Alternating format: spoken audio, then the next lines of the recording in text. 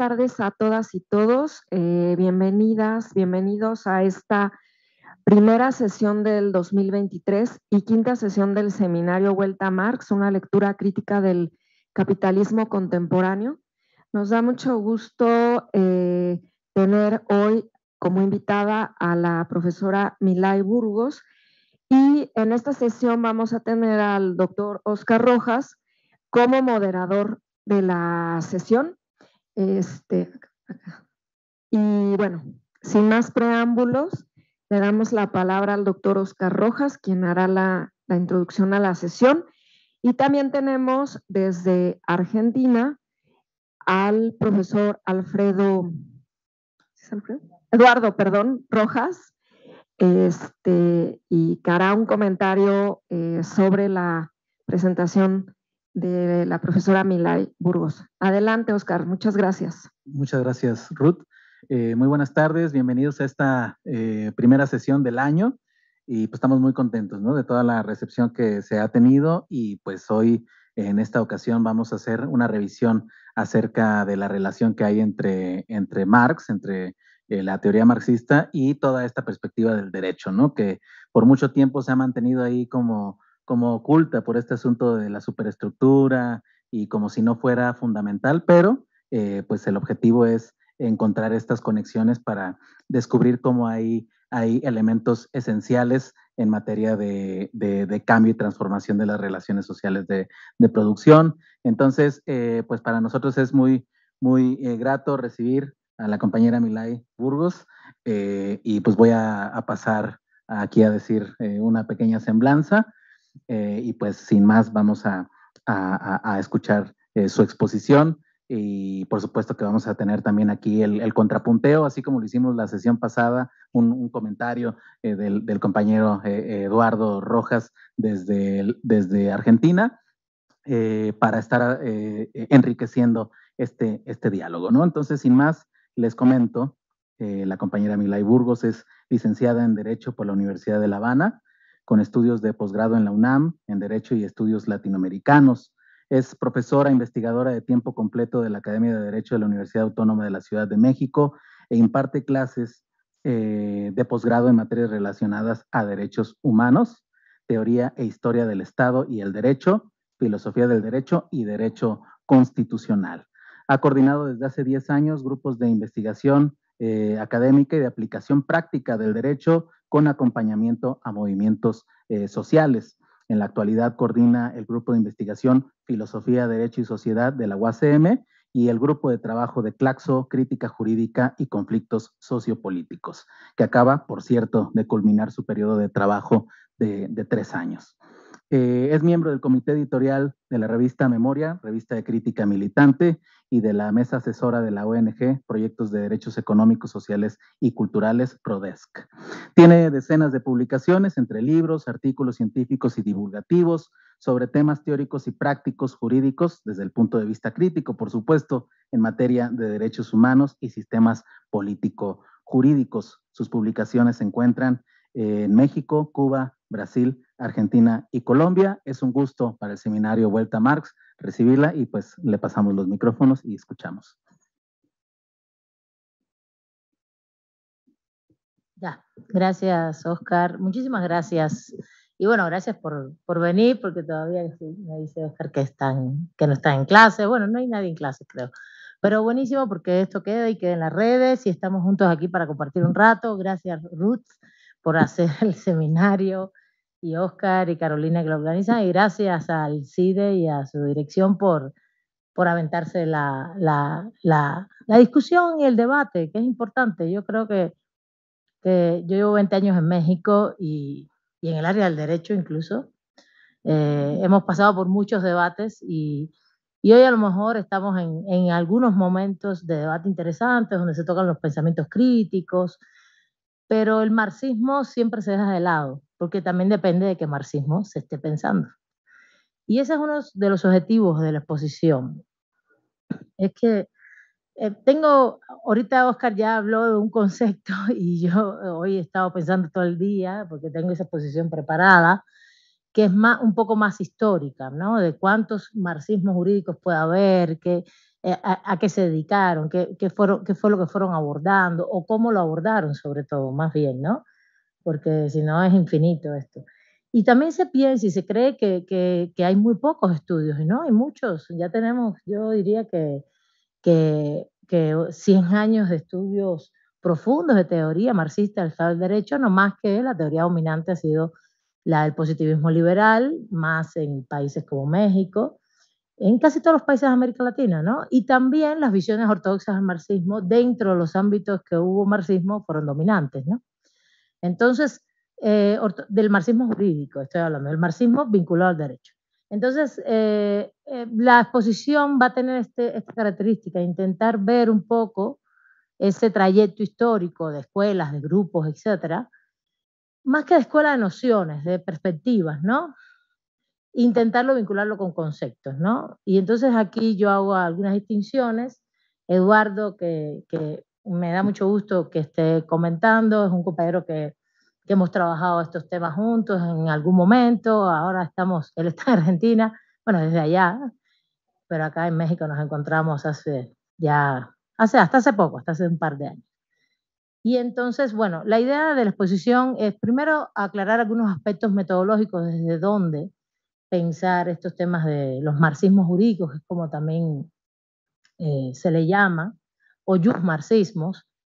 Eh, después, em, aspectos conceptuales fundamentales, pero generales. Y es que venía pensando, porque estaba escuchando la sesión anterior, y me piqué y dije, no, pero yo hay que debatir el tema de la democracia, hay que debatir el tema ese de la separación de poderes, hay que debatir de dónde viene todo eso y, por qué, y de dónde surgió, no solo desde el punto de vista liberal, sino también cómo se vio desde el marxismo, pero serían dos sesiones diferentes, o, porque no nos da la vida, ¿no? O, hacemos los trayectos más generales y en algún momento hacer unos trayectos más específicos, conceptuales de diálogo, sobre conceptos específicos. Entonces yo aquí voy a dar más bien unas nociones generales de cómo se ha visto desde los marxistas o desde los juristas marxistas, que no es lo mismo, eh, las cuestiones de lo, del fenómeno jurídico como tal, para después, incluso si quieren en el diálogo, podemos eh, profundizar otras cosas, otros conceptos.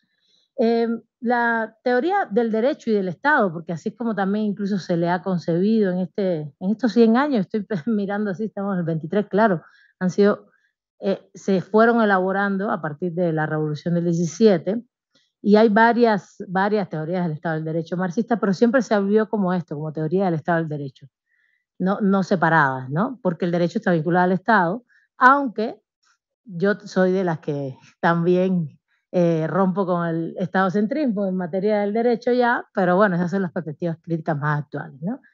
Y, y, realmente los marxismos jurídicos eh, sería esa teoría de, del Estado, esas teorías del derecho que han estudiado el fenómeno jurídico desde perspectivas marxistas, que también son muchas, son varias, no, son, no es una sola y analiza el derecho desde las categorías. Podemos tener ahí dos nociones, ¿no? cuando tú analizas el derecho desde las categorías marxistas clásicas, ¿no? Y usas, por ejemplo, conceptos básicos como la relación social y la relación jurídica, que es un concepto fundamental que, que incluso cuando uno da clases de teoría del derecho en México, se da cuenta que la relación social y la relación jurídica no es un concepto que se usa mucho en la teoría del derecho porque eso es un concepto aportado justamente por todas esas escuelas que en un momento determinado fueron construyendo el marxismo y lo reconocen teóricos acá. Teóricos dicen, no, si, hay, si algo aportaron fue esa noción de relación social, relación jurídica. Que la relación social, que sabemos que es una relación que tiene una base en última instancia económica, pero que implica muchas más cosas, porque no se queda en lo económico. Si nos quedamos en lo económico, caemos en el determinismo este economicista, sino también implica eh, eh, en esas relaciones sociales hay valores, hay ideologías, hay una serie de procesos culturales que se puede convertir en jurídica o no. Y que es la, el sustento del movimiento de lo jurídico. El movimiento, lo jurídico no puede ser una cosa estática, y mucho menos es la ley única y exclusivamente. En eso estamos de acuerdo muchos ya. Pero, eh, ¿cuál es la base del derecho? Como fenómeno, es justamente, y como fenómeno jurídico, es esa relación, ese, ese, proceso relacional, donde ¿qué hay detrás? Pues poderes, luchas de clases, luchas de poderes, eh, eh, movimiento lo real que entonces es antagónico, es contradictorio, es dialéctico. Entonces, claro, uno dice, bueno, pero ¿cómo eso se refleja en el derecho? Depende de cómo sean esas luchas. Hay cosas que llegan a las normas, hay cosas que no, pero además no solo un tema de norma, de la norma jurídica, es cómo se aplica. Yo digo que el derecho se estira para donde se quiera, siempre y cuando hay una correlación de fuerzas que se mide y se interpreta. Entonces, de ahí no, solamente es el proceso del papel, de esa constitución, que sí hay principios, hay cosas, pero cómo lo interpretas, cómo lo aplicas o qué proceso de correlación de fuerza tuviste para crearlo, ahí eso es un movimiento, el movimiento de lo jurídico, que es un movimiento material. Desde ahí tenemos que partir, ese movimiento material, que es contradictorio, que es dialéctico y que es histórico, evidentemente, porque histórico no me estoy refiriendo solamente a, podemos hablar de ciclos cortos, ciclos largos, como, como querramos verlo históricamente, ¿no? O como desde donde nos ubiquemos. Pero lo que sí es un hecho es que, no es, un, proceso dinámico en constante movimiento. Y que es histórico porque no es lo mismo si tú miras México, el momento de la revolución del 17, que después todo el proceso de ese estado social eh, de derecho y de bienestar, con todos los cambios, pero vamos a pensar los años 30 en adelante, ¿no? El cardenismo, y estoy pensando como movimientos políticos, ¿no? Y también movimientos con cambios económicos, que después los cambios neoliberales a partir de los 80, 90, y ahí está el derecho moviéndose en todo ese proceso y que después estos cambios en los años 2000, que no vienen del 2000, desde los 90 hay mucha puja en la correlación de fuerzas en México por estos temas que no solo es de México, es de toda América Latina, del mundo, de los derechos humanos y dónde estamos hoy también a dónde llegó esto y dónde estamos hoy. Y ahí, en esos comportamientos también hay otras paradojas y otras contradicciones, ¿no? Porque una de las cosas que yo siempre planteo que, que le pasa al derecho, por lo menos en el sistema mundo capitalista, y en los últimos 40 años en México eso se ve muy claro, es esas grandes contradicciones de regular, por un lado, por ejemplo, derechos humanos, pujar en la correlación de fuerza y en la lucha de clases por los derechos humanos, hacer todo un sistema impresionante de instituciones, etcétera, y por otro lado, regular todo el neoliberalismo, que lo que hace es ir contra los derechos humanos. Entonces, eh, eh, es muy interesante esa paradoja y esa contradicción dialéctica, y no estoy hablando en materia de regulación solamente, sino de contradicciones sociales y luchas de, de grupos y clases. Y es una gran paradoja. Tenemos por un lado esto y tenemos por el otro lado eso, eso yo que he dado clases de constitucional mexicano en los últimos años con mucho gusto para aprender más de México, que ha sido también mi parte ya fundamental de mi vida, porque pues, ya llevo 20 años acá. Cuando tú analizas todos esos procesos entre los 80 y los 90, en los años 2000, actualidad, tú dices, wow. ¿Y, ¿Y cómo se resuelve esto? ¿Qué está reflejando? Pues la contradicción del sistema las contradicciones del sistema. Y el derecho ahí refleja la las contradicciones del sistema capitalista. ¿no? Y ahí, bueno, empiezan otras discusiones, que sirve a una cosa, los fines de uno, los fines de otro, pero yo, ahí no nos vamos a meter. Eh, bueno, el primer punto que ya me alargué, mira, estoy en la primera diapositiva, pero no se preocupen, yo no, esto es un poquito más para información nada más. Es pensar ese derecho como un fenómeno, eh, el, derecho es un fenómeno, eh, no, no voy a meter ahí a la profundidad del marxismo, de, de que el fenómeno es lo de COSIC, que es lo evidente. Vamos a dejarlo ahí porque si no me metes en una hondura ahí. Pero es un fenómeno que, que es ante todo social, no es eh, fenómeno jurídico, pero es social en relación con la política y la economía. No se puede ver de otra manera y claro, es normativo dentro de toda esa gama. Llegamos a normas, las normas se crean, se aplican, pero eh, eh, evidentemente tenemos un trayecto de movimiento de lo real, contradictorio, en, tanto dialéctico, de contradicciones e histórico. ¿Está bien? Para mí, no, no, y, este concepto fundamental es un concepto que ha estado elaborado en la teoría marxista del Estado del Derecho con, con de, lo, de, lo más, de una manera muy interesante. No por los clásicos, ahorita voy a hablar de los clásicos, sino después, a partir de la Revolución del 17. Y ojalá tuviéramos ese, ese concepto de base, eh, y, y, más que concepto, como reflejo de la realidad todo el tiempo para analizar lo jurídico, que sería muy importante. Y la base de ese concepto es esta cosa de la relación social, relación jurídica, ¿vale? La relación social y la relación jurídica.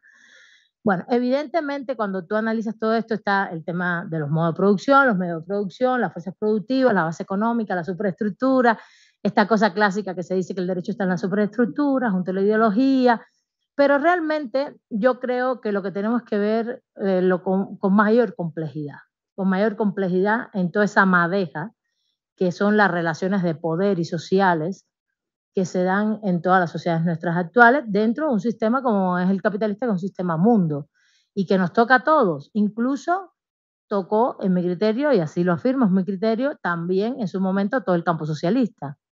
Eh, porque el, campo socialista no pudo, aunque generó otros tipos, otro tipo de derechos y lo intentó, no pudo eh, salirse del sistema.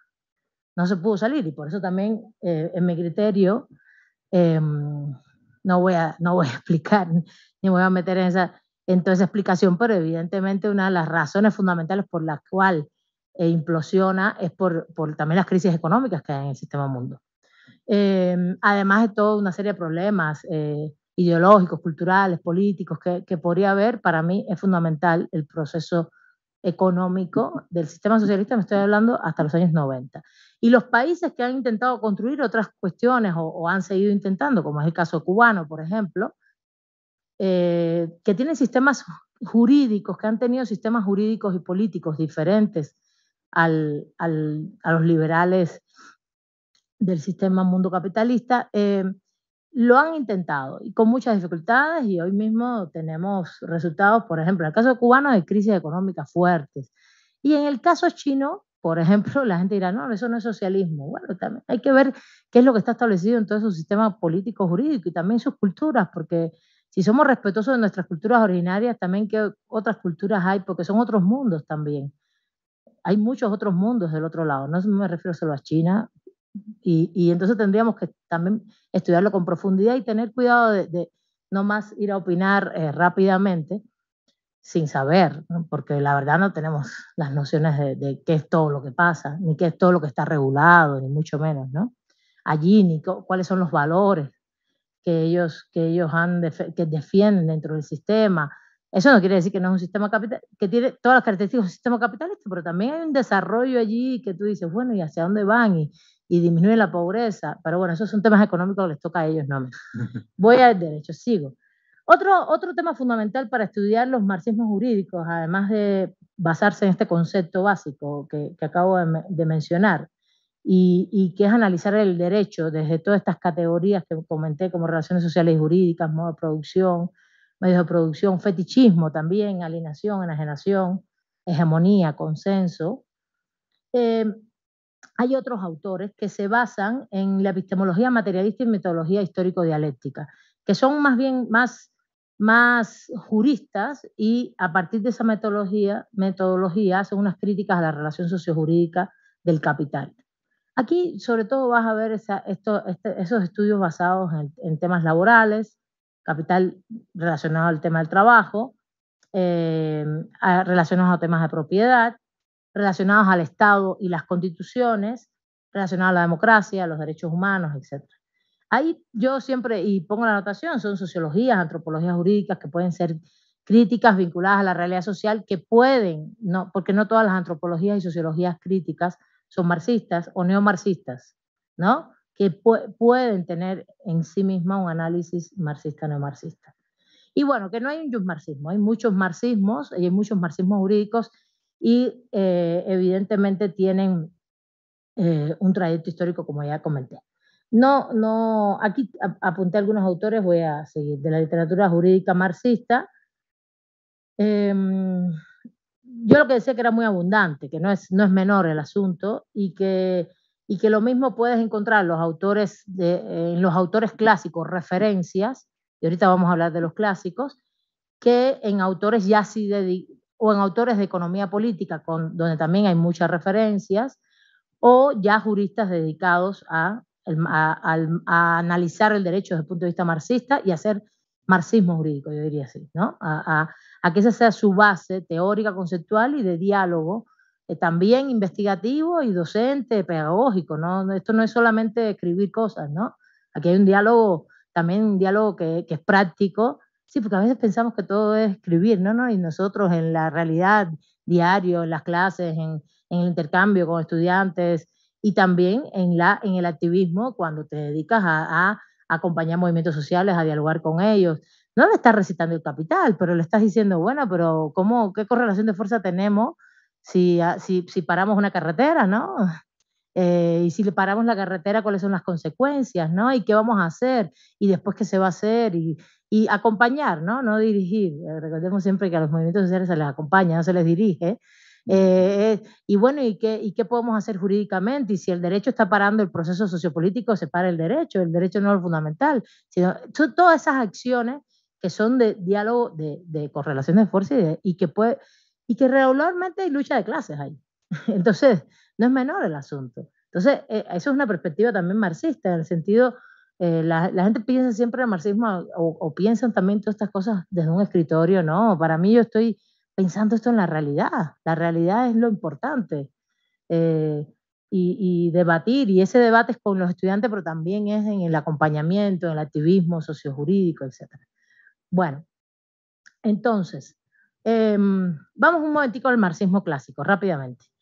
¿Qué pasa con el marxismo clásico? ¿Qué, o, o, qué ha pasado? Eh, ese es el, este era el primer punto como un poco metodológico y sentar una base, eh, va, una cosa muy básica de, del concepto de, o de esta noción del derecho vinculado a, a, a la noción de esta materialista, materialista epistémica, eh, a la epistémica metodológica, materialista histórica y dialéctica.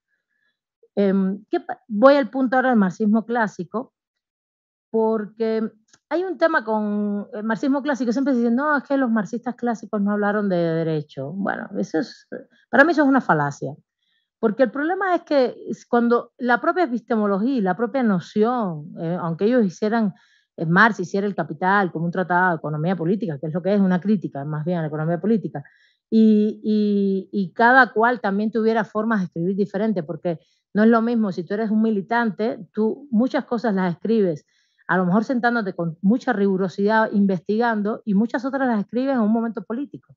Y esa es la otra. Metodológicamente ese es otro tema. Yo llevo cinco años escribiendo, cuatro años escribiendo análisis político, pero de divulgación. Entonces tú vas a decir, no, por ahí falta, no, pues claro que faltan cosas, entonces es para llamar la atención sobre algo, ¿no? Es, es para dialogar sobre un tema, es para ponerle los puntos y, y, eso pasaba en todos, en todos momentos, en todos lados. Igual que toda la gente que escribe en prensa, por ejemplo, en la actualidad. Que es, bueno, no es lo mismo sentarte a hacer todo un tratado y, y, y pensar todas esas categorías abstractas que, que, tiene el capital basado en todo lo que vio en la realidad eh, Carlos Mar en su momento, hacer el manifiesto del Partido Comunista. ¿No? No es lo mismo. Entonces, ahí metodológicamente también tenemos que tener eso claro a la hora de pensar las categorías, analizar las categorías. Y con el derecho hay un problema, justamente con los conceptos de derecho, que entonces en un momento determinado se agarraron los, los, los grandes estos documentos, que son importantísimos, que son re súper relevantes para la época desde el punto de vista político, y exegéticamente se interpretaron con alguna frase que se dijo sobre el derecho dentro de ellos, como en la crítica de la economía política, el prólogo, que es muy, que es muy pequeño y que dice, el derecho es un instrumento de dominación de la clase del poder y ahí se quedó el concepto. Y, que, y entonces tenemos que seguir debatiendo porque es mucho más que todo eso. Entonces, ese es un tema con el marxismo clásico que, que, que, que siempre hay que tener en cuenta.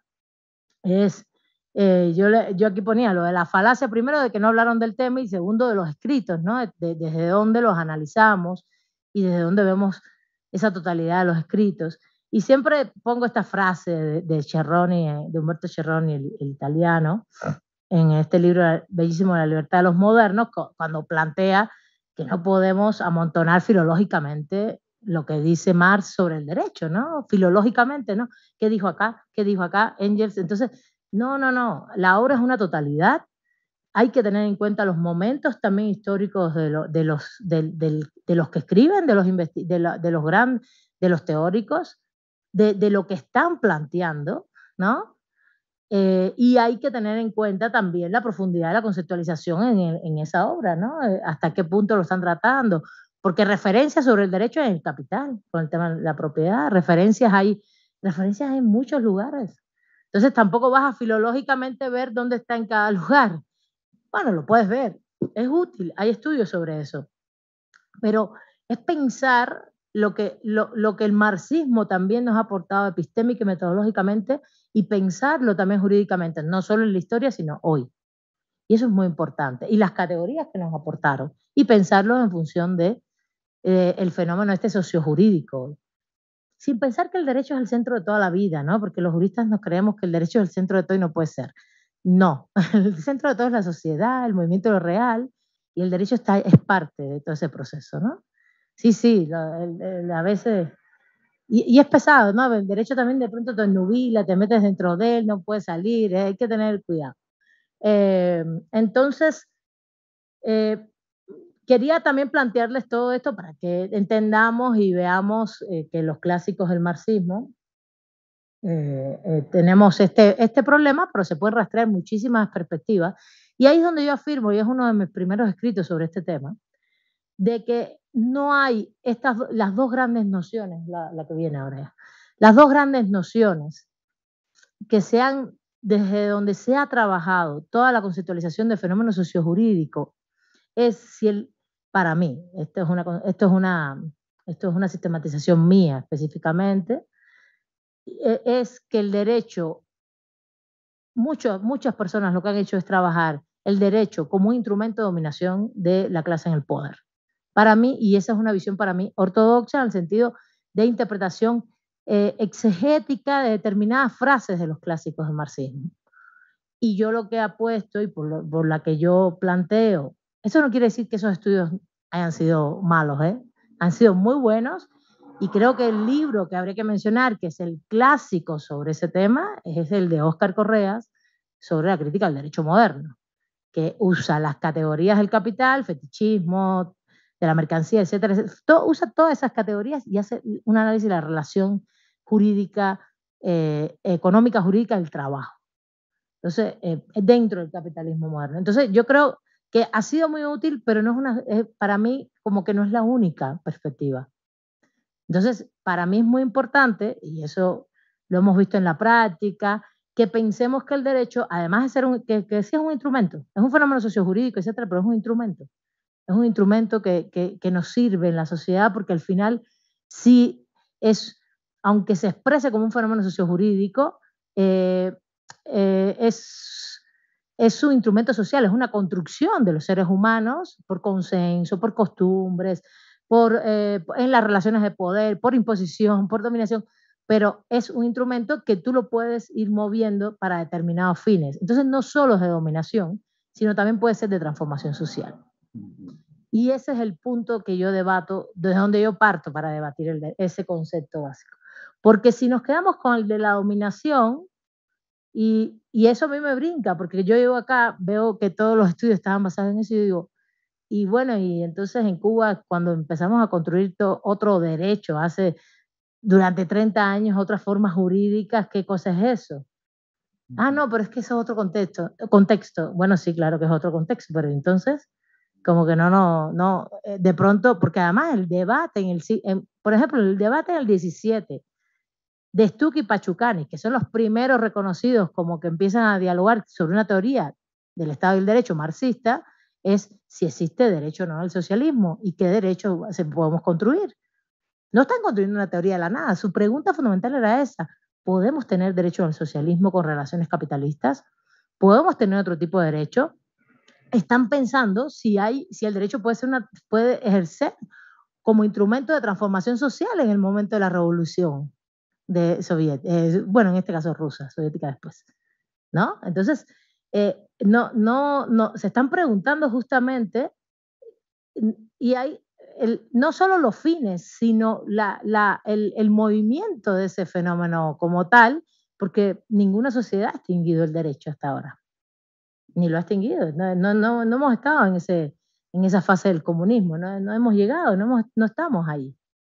Ni hemos llegado, ni mucho menos, y se los digo porque si ustedes leen los libros de, esa, de esos 70 años de la teoría marxista del derecho soviética, del Estado del Derecho soviética, y toda la teoría que hicieron, eh, sí los vas a ver cómo ellos tienen sus etapas. Yo, eso está en el PowerPoint, lo, lo quité para no meternos ahí, pero todas las etapas que ellos tienen de, de cómo primero discutieron esto, después cómo empezar eh, toda la etapa más bien estalinista, que, que hacen una construcción de categorías en función de un voluntarismo político muy fuerte y cómo después de Stalin, que yo le llamo la fase del post-stalinismo, eh, la construcción de teoría marxista del Estado del Derecho, de todas las ramas del derecho, tiene un gran recorrido.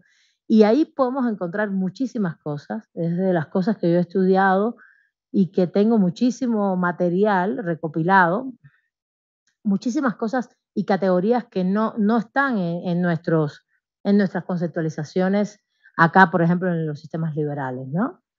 Eh, unas que son muy contextuales, eh, me estoy acordando, estoy no, no, las tengo en mente, hay unas muy importantes como es el, por toda la teoría del mandato imperativo, y acá se habla entonces de mandar obedeciendo y, la y el mandato imperativo es una teoría que además viene de Roma, porque eran muy romanistas también algunos allá, en, estoy hablando de la Unión Soviética, ¿eh?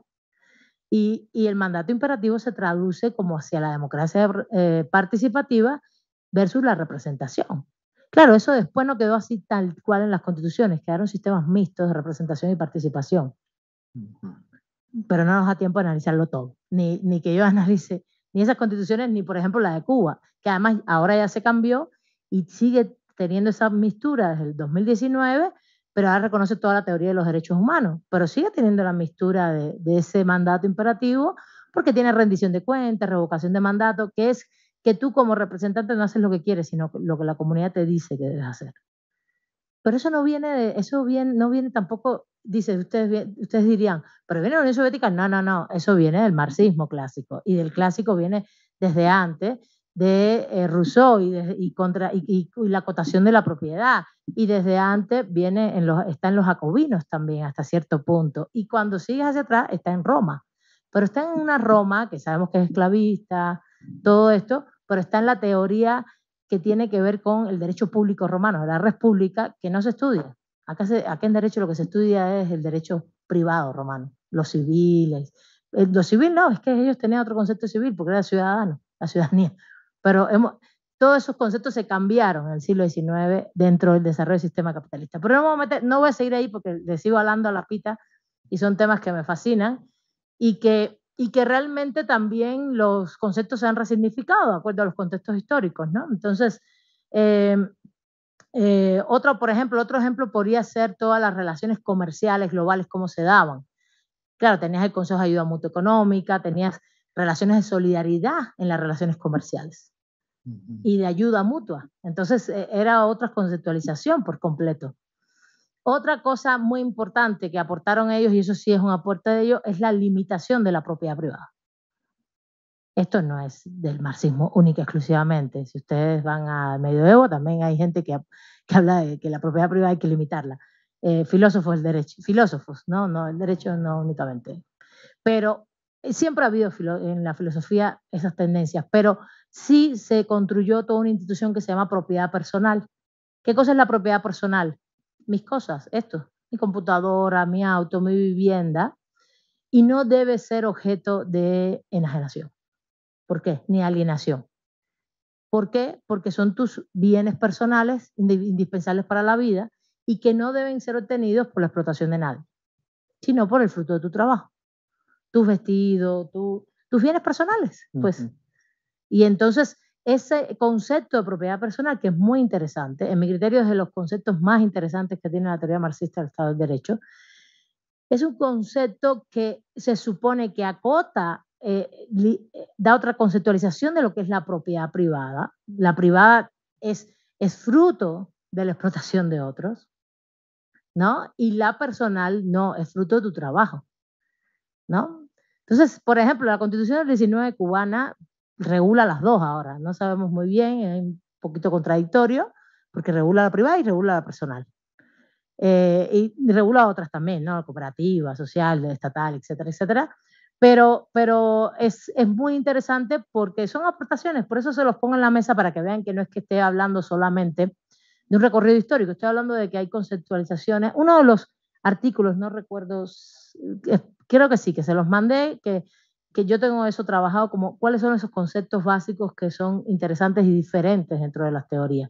Y que seguro tenemos analogías con otras formas acá, que es la propiedad con función social, que es analogías podemos tener, pero bueno, se construyeron de manera diferente, se denominaron de manera diferente y también tuvieron otra regulación y otras formas de prácticas jurídicas. Bueno, hasta ahí voy a dejar el tema este de eh, eh, este, este punto básico de conceptos que, que nos aportaron eh, estas escuelas.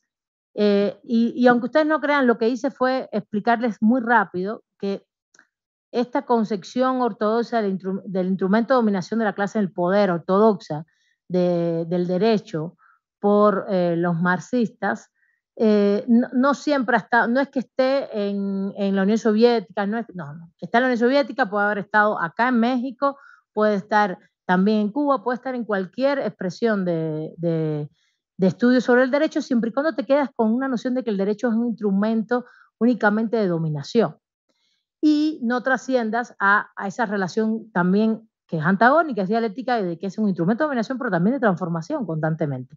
Y por eso me metí un poco a todos esos conceptos en esa etapa soviética, para que ustedes entendieran que al principio, si, si Stuck y Pachucani, porque no le voy a hablar de esas escuelas, eh, debatieron si había un derecho socialista o no, después hubo un voluntarismo político, después elaboraron muchos conceptos en función de, de pensar un derecho diferente, socialista. Entonces, eh, que estaba transformando, que estaba ayudando, a ver, el derecho no transforma la realidad en sí, se, se transforma las relaciones sociales, políticas, de relaciones de poder, pero también hay política, también hay relaciones de fuerza y se reflejan en el derecho. Y ahí estuvo, ahí estaban. Entonces no podemos, incluso viendo ese ejemplo histórico.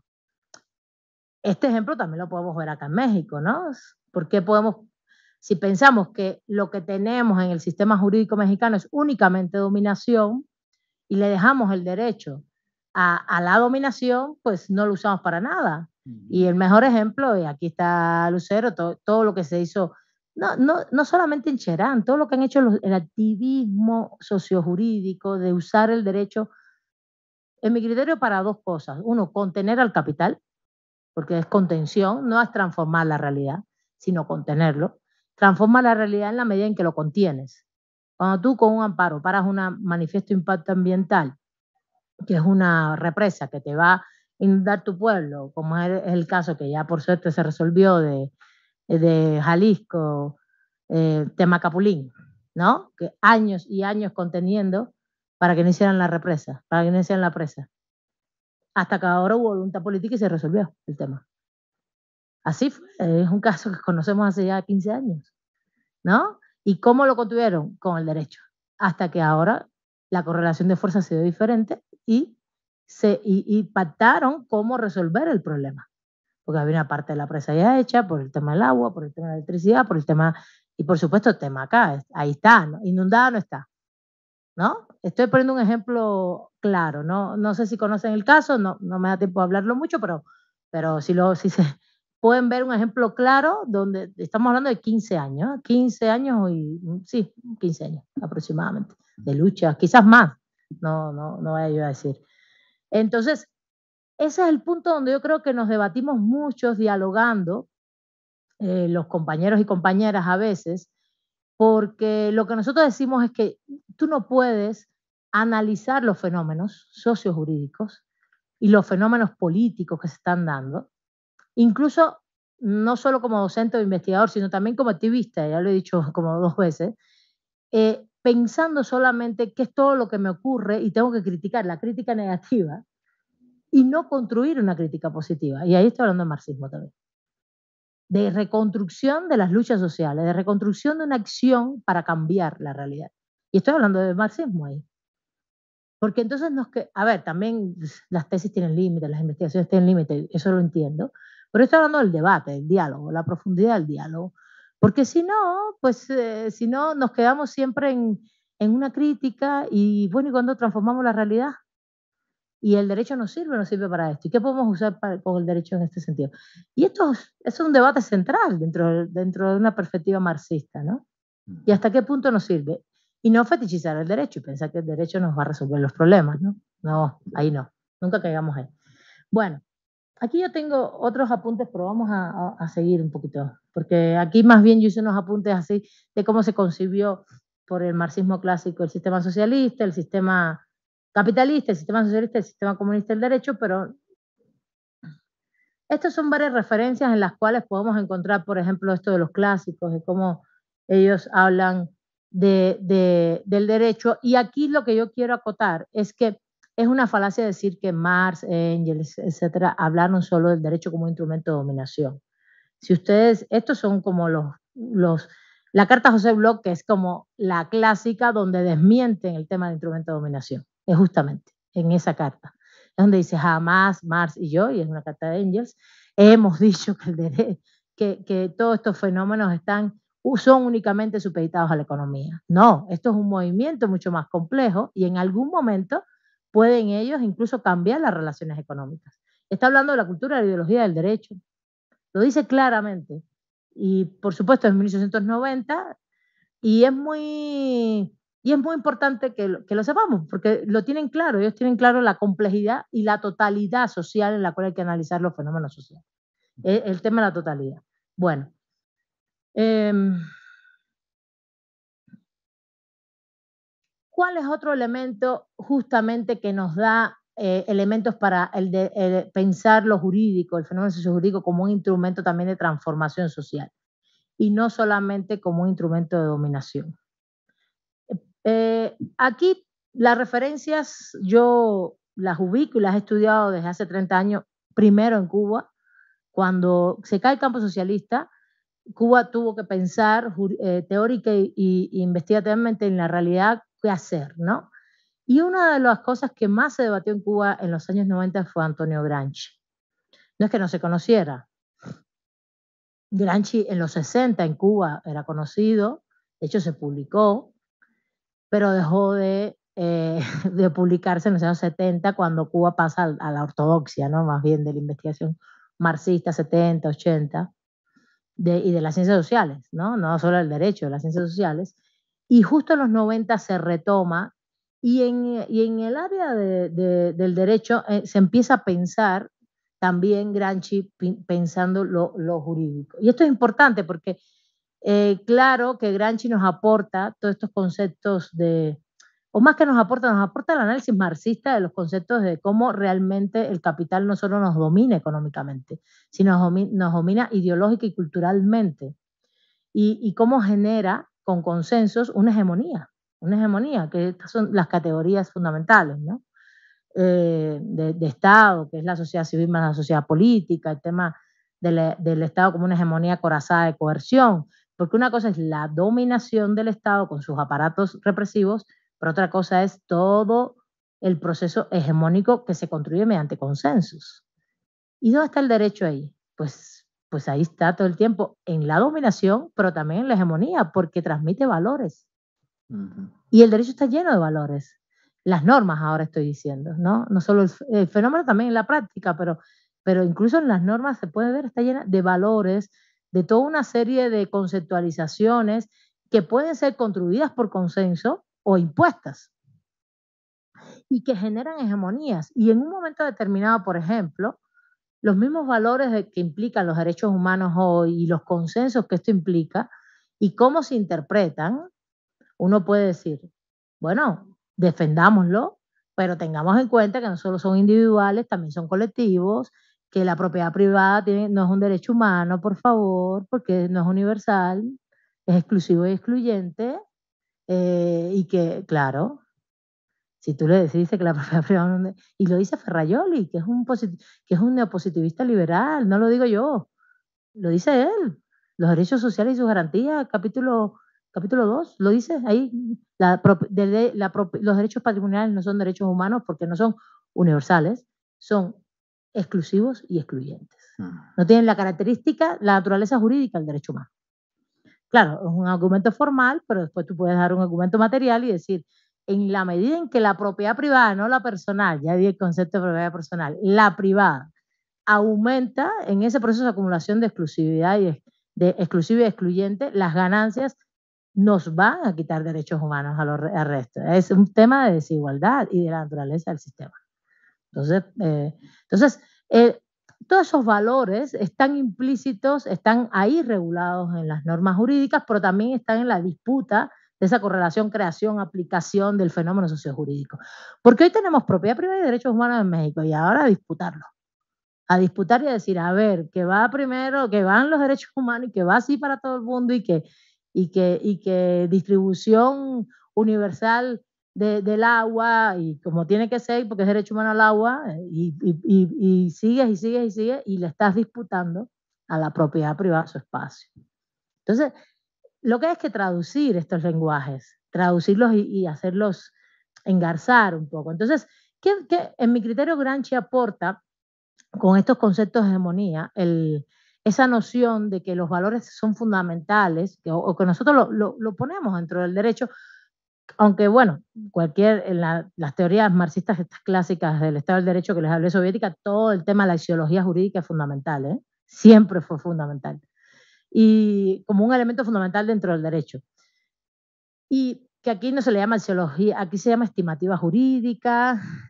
Sí, mira, los clásicos de teoría, teoría del derecho, estimativa jurídica. Y yo, uy, pero yo siempre lo he conocido como axiología jurídica, me gusta mucho, ah, que es la cosa de los valores que se, que se encuentran dentro del derecho. No matar, por ejemplo, eso es un valor, pues, es un valor, ¿no? Que todos tengamos agua, sí, es una satisfacción, una necesidad que implica un valor, que nosotros valoramos el agua y que la necesitamos para vivir.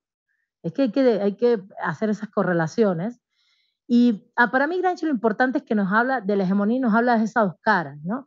De esas dos caras donde podemos, nos pueden dominar y en, los discursos jurídicos hay mucha dominación en valores, puede haber o puede haber también transformación y que el derecho tiene toda esta línea que es dominación por un lado, pero también es también esa visión de transformación a la hora de, proyectar en los lenguajes y los discursos jurídicos eh, valores de transformación social.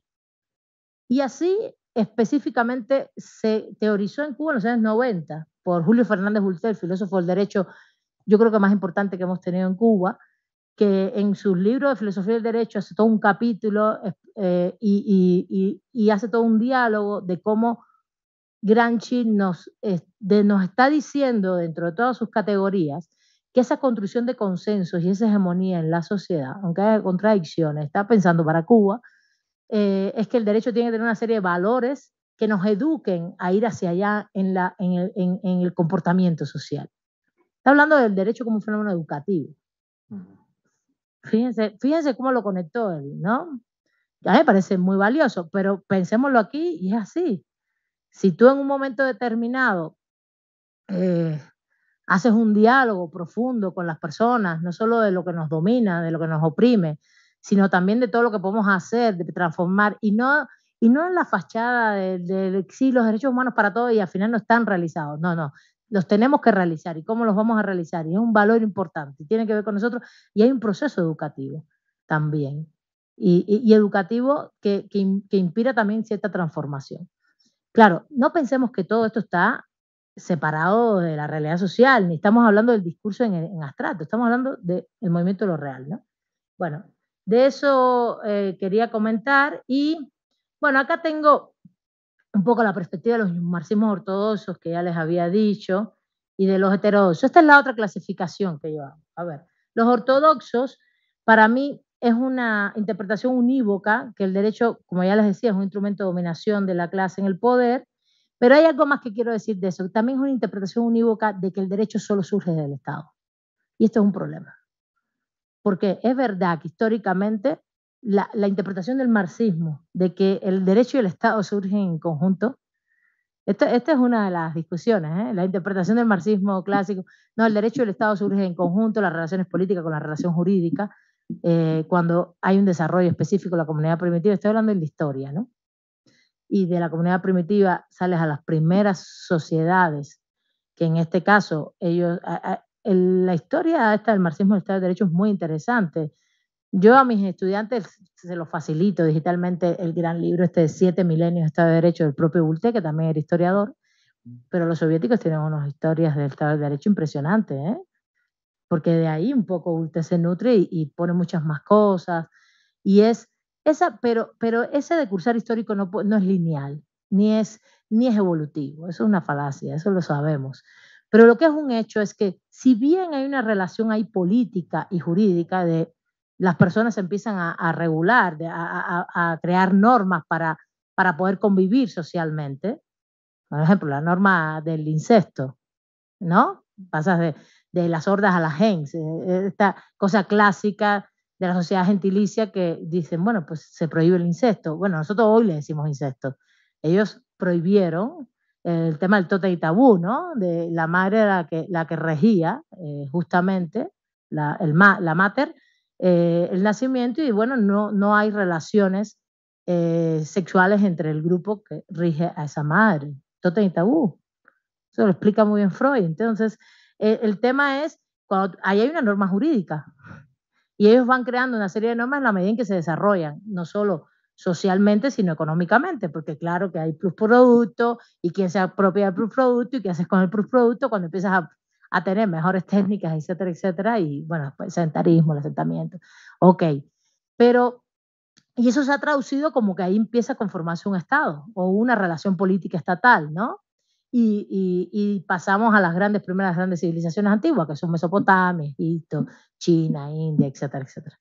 Eh, sí, pero yo estoy de acuerdo con esa interpretación en ese momento, pero lo que yo diría es que las relaciones de normatividad en una sociedad son mucho más complejas, en la medida en que esas sociedades se fueron complejizando.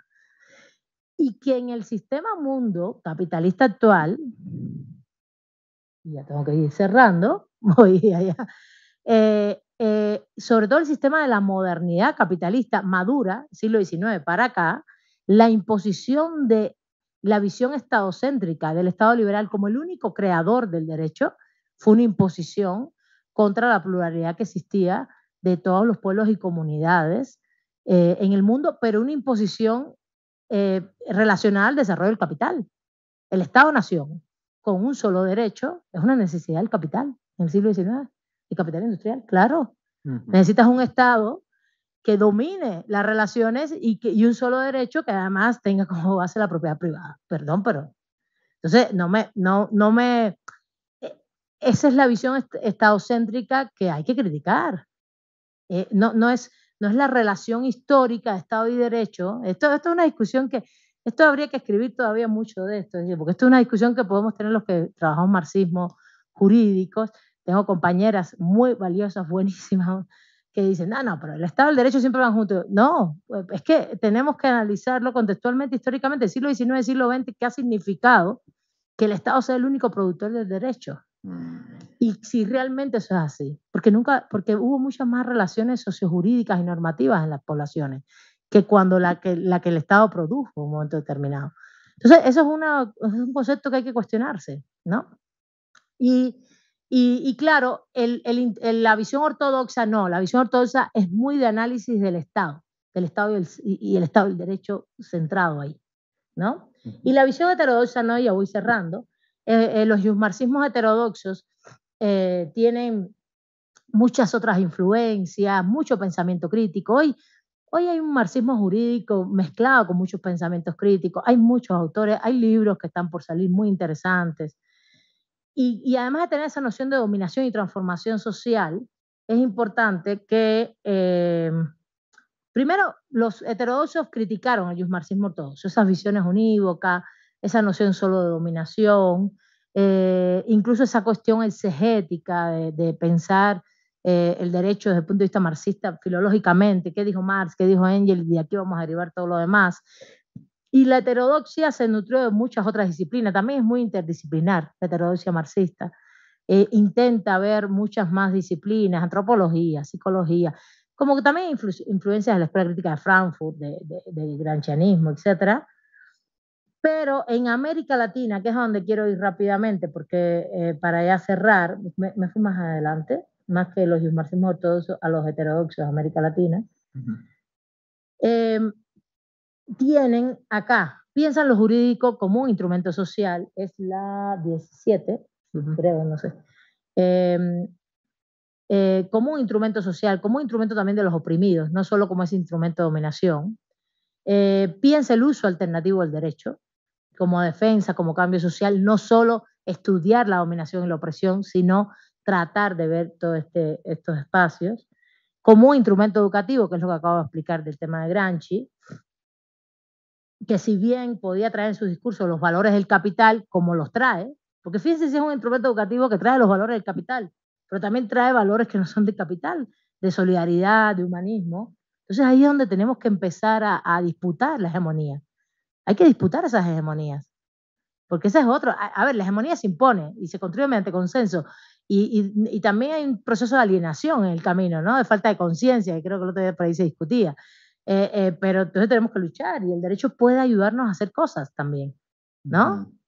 A ver, ¿cómo no ayuda el derecho a, a, pensar el tema de los feminicidios? No me diga, pues, eh, porque, porque, ¿por, qué, ¿por qué se disputa el término incluso feminicidio más allá del asesinato a las mujeres? No estamos disputando un término, estamos disputando una realidad social, ¿no? No solo es un término, y estamos disputando una realidad social complejísima y en la medida en que tú posicionas y posicionas y posicionas, caminas. Eso es muy importante. Y eso es un diálogo que no, no, no estoy hablando que es de palabras, sino de acción social y de, y de valores y de decir, es que sí ocurre. Ocurre contra las mujeres una violencia que no es la misma violencia que ocurre eh, eh, en la sociedad. Es, es, patriarcal, tiene una serie de características y tiene una serie de elementos. Y por eso tienes que cambiar. Y eso lo vas imponiendo y por eso se disputa. Y digo esta disputa porque, por ejemplo, Cuba acaba de aprobar, estoy, he estudiado mucho Cuba los últimos tres años, por eso también pongo tantos ejemplos, un código de la familia que es impresionante. Para mí es el código de la familia más avanzado, por lo menos en América Latina, y quizás, no, yo no soy especialista de esos temas en Europa, ni mucho menos, pero tiene regulado una serie, una cantidad de cosas impresionantes, desde el matrimonio igualitario, pero tiene la gestación solidaria, que no es maternidad subrogada, tiene eh, regulado eh, la protección de los cuidados más allá de las herencias, límites a la propiedad privada, protección de los cuidadores y cuidadoras, tiene regulada la multiparentalidad protegiendo los afectos. No, no, ¿Para qué les cuento? Está impresionante. Pero hemos tenido discusión y disputa ya porque no se ha querido regular el feminicidio. Cuando sí hay, no hay como acá, pero sí hay. Y no, que entonces, porque, y, y, ya reconocen que hay, ¿entiendes? Ya se reconoce por el Estado que hay. Estoy poniendo un ejemplo claro para que vean que, que sí hay una disputa que implica, no, que no es que no es un tema, un término, aunque está implícito, regulado en la legislación actual cubana, el Código Penal, pero no lo dice. Entonces tú dices, tú tienes que ir ahí trabajando para que se entienda qué son estas cosas, ¿no? Y el derecho está, ahí están los valores. Bueno, otro elemento, y ya cierro, es que en los marxismos heterodoxos, sobre todo América Latina, que son los que tengo aquí abordados, tienen un sentido de praxis sociojurídica eh, eh, donde, donde, donde el derecho no solamente se ve como ni, ni solamente como un, una cuestión pedagógica que se enseña y una exclusivamente las leyes, sino de pensar que todo el derecho tiene que servir para la transformación y que tenemos una posición pedagógica de activismo, de enseñarle a los y las estudiantes que su función, además de ser ética, también es política. Y que cuando terminen sus carreras, bueno, eso, habrá escuelas que enseñan esto y habrá otras que enseñan otra cosa, pero cuando terminen sus carreras, la idea es defender también a los oprimidos, también tratar de luchar por transformar la realidad social desde el derecho y por supuesto además de ser ético, de no, de no, de no jugar ni con la vida de las personas ni con el patrimonio de las personas, ni mucho menos, eh, tratar de incidir en esta cuestión de pedagogía sociojurídica en la actuación del profesional jurídico. Y esto, esto es muy interesante porque esto va mucho más allá de, de hacer escritos, va también esa acción pedagógica liberadora en, en nuestros recintos. Y, y, ahí está sembrando la base del que va a ser juez o jueza, del que va a ser fiscal o, o, la que va a ser fiscal y del que va a ser abogado o abogada, de cuál es su posición también en la sociedad, ¿no? No es una posición de, cada vez que yo oigo eso, no, el amparo es para ganar dinero, ay Dios, me da un ataque. Y, bueno, y, el, último punto es el cuestionamiento a la esencia moderna del derecho, ¿no? Eso hace el marxismo heterodoxo, que también está ya muy ligado al pensamiento crítico, que es el monismo jurídico, todas estas cuestiones que ya expliqué. Hoy por hoy, de hecho, hay un texto, y sí lo voy a mencionar, no ha salido todavía publicado, de eh, Carlos Rivera Lugo, que es un análisis en 100 cuartillas, 120 de la forma jurídica comunitaria, pero desde la filosofía del derecho, ¿no? Es, pone ejemplos de todo lo que pasa en América Latina, lo conoce, eh, ha ido a muchos lugares de América Latina, no es que él sea un, bueno, sí, él es un militante tremendo toda la vida, ¿no? Por Dios, eh, un militante incluso independentista puertorriqueño, y, pero me refiero a que no es que eso implica que él ha estado acompañando a lo mejor un movimiento acá comunitario, indígena, no, pero sí ha estado atento a todos estos movimientos. Y eso es un libro que nos va a aportar esta cosa de pensar eh, la, visión heterodoxa del marxismo como, como un derecho, una forma jurídica comunitaria, que el, el, libro de él es muy teórico, y esto es muy importante, teórico basado en la realidad de América Latina, junto con los otros textos que se han creado en los últimos tiempos ya sobre las luchas sociales, ¿no? En, en, México hay varios a sociología antropología jurídica. Pero bueno, este tiene todo un análisis de perspectiva marxista de base. Yo con eso yo quisiera terminar porque la verdad eh, bueno, ya tengo muchísimas, algunos otros, este es como el, todo el, el de cursar este histórico, lo centré en esas dos nociones específicamente para que entendiéramos de qué estamos comprendiendo y, dónde queremos, hacia dónde queremos caminar, y de ahí para allá podemos caminar conceptualmente donde querramos, eh, en todas las áreas del derecho, en el civil, en el penal, en el mercantil, Sí, que las separamos didácticamente, ¿no? Porque aquí todo se relaciona, ¿no? Claro, evidentemente no es lo mismo el derecho penal que el derecho civil, ni mucho menos, pero podemos caminar muchísimo y pensar que, em, que, que, que, el derecho no, puede, no, no, no, es la norma, ya ni, ni, decir que es norma jurídica, ni mucho menos, ya, eso ya para que, ya, ya, no cabe acá, ¿no? No, no. Pero, pero sobre todo pensar ese movimiento de lo real, ¿no? Y que el derecho está ahí en el movimiento de lo real. El movimiento de lo real es la, es la sociedad misma, esa dinámica que no es superficial, que es, sí es fenoménica y que si lo ves en la totalidad y ves esas relaciones de poder, esas relaciones, esas luchas de clases, y ves cómo el derecho está caminando ahí.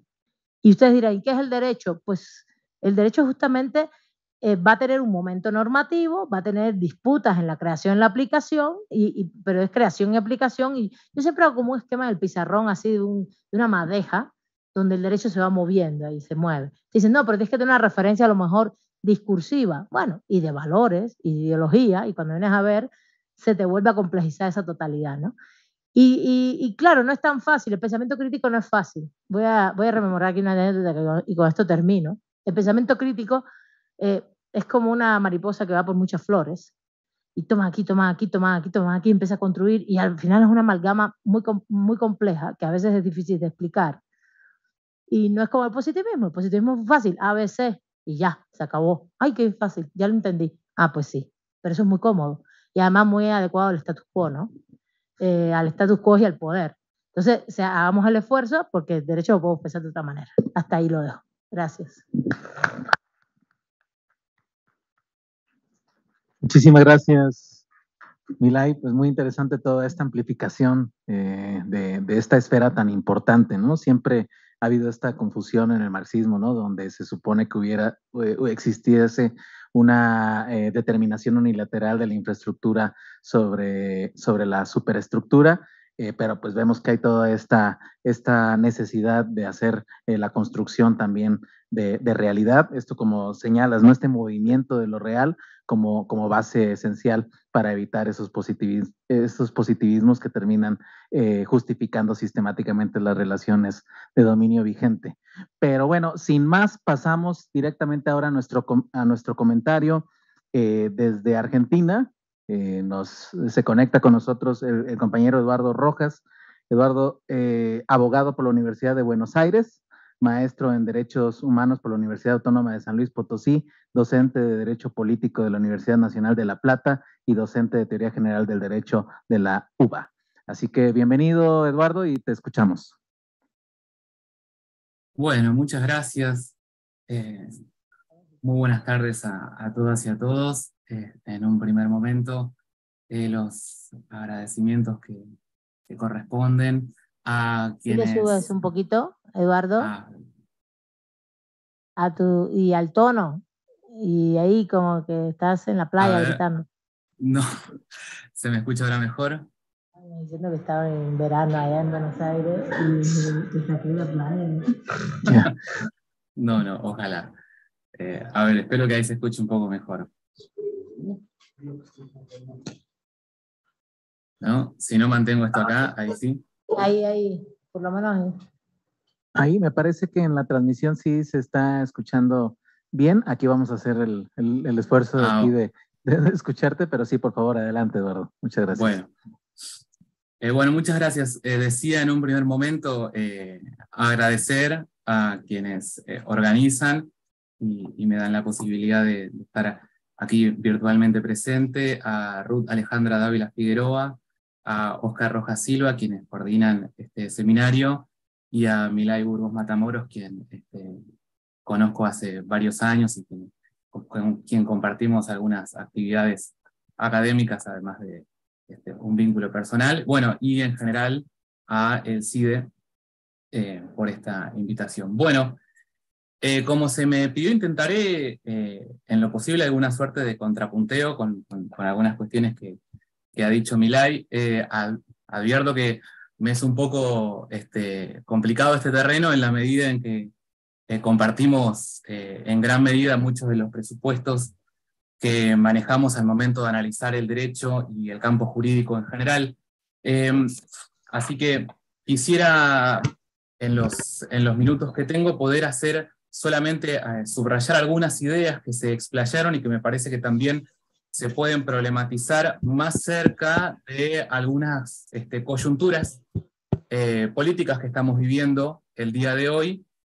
Eh, pero primero, ¿sí? tomar y retomar muchas de las categorías que, que ha expresado Milay. Digo, sobre todo en esta cuestión entre esta gran división entre marxismos ortodoxos y heterodoxos, si pudiera ser también alguna suerte de contrapunteo con lo que es la experiencia más argentina respecto de cómo es que esto se ha manejado en función de también eh, la referencia que hizo Milay respecto del caso cubano y de América Latina en general. Podría decir, en el caso argentino no es que eh, ha habido marxismos ortodoxos que se han dado sobre todo más este, en la práctica, pero como mismo está este, escrito por quienes han hecho las primeras este, piedras basales de lo que se conoce como la teoría crítica del derecho en Argentina, es una vez finalizadas, o sí, finalizadas la, dictadura cívico-militar, la última que tuvimos, que se le empezó a dar otro sentido, ¿sí? se empezó a valorar desde otro lugar a el fenómeno jurídico. Y es por esta, este, por esta experiencia histórica específica que se empezaron a generar algunas categorías para pensar el derecho más cercanas a lo que Milay ha presentado como una perspectiva heterodoxa del marxismo, sobre todo en los primeros inicios, estamos hablando de los incipientes 80, eh, quien quiera este, ahondar puede encontrar uno de los libros este, primeros que tenemos este, en nuestra tradición, uno que se llama precisamente El discurso jurídico, y que para poder analizar el derecho ya directamente hace eh, alusión a algunas ideas altuserianas respecto de cómo es que se configura este, el fenómeno jurídico. Y esto es precisamente tratar de combatir eh, esta, lo que domina en el campo jurídico, y no solamente en el campo jurídico, que son las teorías de corte positivista o analítica que reducen el derecho a la ley, sobre todo, es decir, a la ley proveniente del Estado.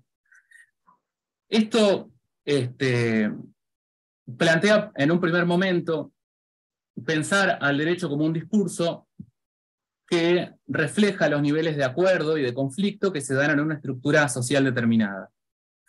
Y algo que me parece interesante de recuperar desde su primera formulación hasta, hasta, la actualidad, que va de la mano con, con lo que este, decía Milay, son tres niveles en los cuales se puede hacer alusión a cómo es que se da este discurso jurídico que son en el nivel primero, el de las normas, ¿sí? hay un núcleo que no se puede obviar en, nuestro campo, el de las normas y el de los órganos que producen esas normas.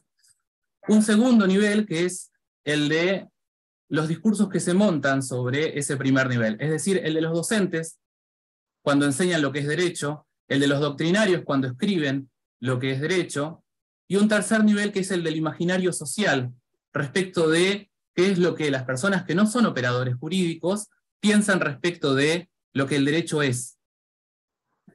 Esto lo podemos ver en algo muy cotidiano. Cualquier acción política que se dé, sea de transformación o de reafirmación del orden social, por lo general tiene algunos juristas que avalan o desaprueban lo que se está intentando hacer.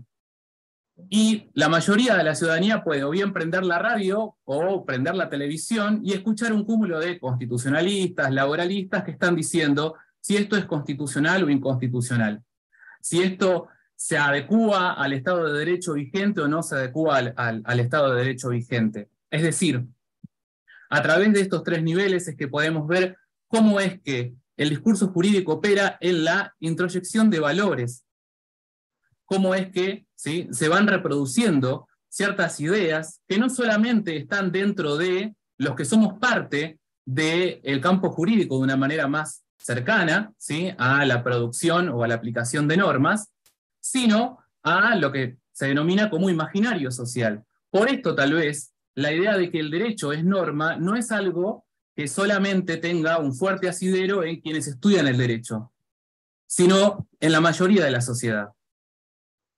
Ocultando a su vez que hay un cúmulo de valores que se reflejan ¿sí? en el momento mismo en el cual el discurso jurídico está operando. Como se decía desde un principio, el análisis de la producción, la distribución y el consumo del discurso jurídico, esto que, por ejemplo, los este, marxismos heterodoxos eh, en la clasificación de Millay aportan, trabaja también con algo eh, que Millay mencionó y que después me, gustaría que lo, que lo ampliase en torno a cómo es que se utiliza el concepto de ideología, tanto en los marxismos ortodoxos como heterodoxos, porque en estos segundos pareciera haber un entendimiento de que ideología es un conjunto de representaciones respecto de el ser, y no tanto una falsa conciencia. ¿sí? Entonces, digo, esto que opera en diferentes corrientes, tanto en la mexicana de Oscar Correas como este, en, la, en la argentina, que comienza con Ricardo Entelman, Enrique María, Alicia Ruiz. Y que precisamente eh, por tener estas características se entiende que el derecho tiene una autonomía relativa, o que, como expresa y es parte de este, la totalidad social, también tiene una función de transformación, como, como ha dicho Milay. Em, esto se puede trabajar como función paradojal. Aquí, por ejemplo, haría eh, también una pregunta, ya la dejo este, preestablecida eh, para, para Milay, que es respecto de eh, su caracterización de la visión que tiene Óscar Correas respecto del derecho como mera dominación, si acaso le parece eh, que después, en los años 90, más centrados en los 90, cuando empieza a trabajar a los derechos humanos, cuando Correa se empieza a definir a el discurso de los derechos humanos como el aspecto subversivo del derecho, no hay ahí acaso ¿sí? una modificación, porque es cierto que en una obra que Milay hace referencia, que es Introducción a la Crítica del Derecho Moderno Esbozo, que es del año 78-82, hay una fuerte visión del derecho como dominación. También pareciera ser que en los años 90, con la ampliación hacia los derechos humanos, hay un matiz o un cambio al menos, si es que se puede denominar así, respecto de su concepción de, eh, del derecho. Pero bueno, estas algunas pequeñas este, eh, categorías eh, que, me parecen interesantes de, de, rescatar y que están en, en la tradición argentina, pero también en la mexicana este, y en otras a lo largo de, América Latina. Hay una cuestión que es pensar si el marxismo debe analizar, es decir, el texto de la norma, ¿sí? y por ejemplo la ideología y los valores que están inscriptos en los discursos jurídicos, o analizar a través del discurso jurídico la totalidad social. Es decir, si el análisis del discurso jurídico en realidad lo que redunda es en el análisis de esa totalidad social de la cual es parte. Así como la historia, la geografía o la filosofía pueden analizar las teorías críticas del derecho con una fuerte base marxista o neomarxista, ¿sí? también intentan, si es que también lo hacen, un análisis de esta totalidad social. que por ejemplo se puede ver, se puede, si se quiere observar, en aquellos programas que se suelen hacer en las facultades de Derecho, donde se titulan por lo general eh, Derecho y Sociedad. Como si acaso el derecho existiera ¿no? en un momento y la sociedad existiese en otro, como si no hubiera, este, es decir, como si el derecho fuera una cosa distinta, aparte o anterior de la sociedad de la cual es parte, ¿sí? y no una relación que entienda ¿sí? al derecho como parte de esa sociedad, inescindible. ¿sí? Esto es lo que precisamente los, marxismos heterodoxos traen ¿sí? para ser analizado. Algo que, si se quiere, se puede ver en un texto este, clásico, ya podríamos decir, de Alicia Ruiz, que se llama Los aspectos ideológicos del derecho. Es decir, no todo es ideología, pero no se puede negar que la ideología está en todas partes. El derecho no es, es reductible a ideología, pero no se puede negar que tiene un aspecto ¿sí? que es precisamente ideológico. Y que si precisamente lo tiene, entonces no puede hacerse esta división que solemos hacer incluso con una buena voluntad ¿no? de análisis crítico entre derecho y sociedad como dos cosas totalmente disociadas. O en algunos momentos se da una y después se da otra. Sí, tal vez en un momento muy abstracto este, del análisis. Pero bueno, a lo que, a lo que quería este, llegar con, con alguna de estas cuestiones es primero preguntar y, poner en cuestión tanto los, análisis este, ortodoxos o heterodoxos, ¿cuál es el lugar que le dan al derecho en relación con esta totalidad social? Porque si hay algo que reivindica el marxismo jurídico, es que no renuncia a la idea de totalidad social. Y tal vez podríamos decir que otras teorías, también críticas, sí renuncian a esa idea. A lo que, por ejemplo, Milay hacía referencia de cómo es posible que haya un despliegue tan amplio de los derechos humanos y a la vez haya un despliegue tan amplio de la propiedad.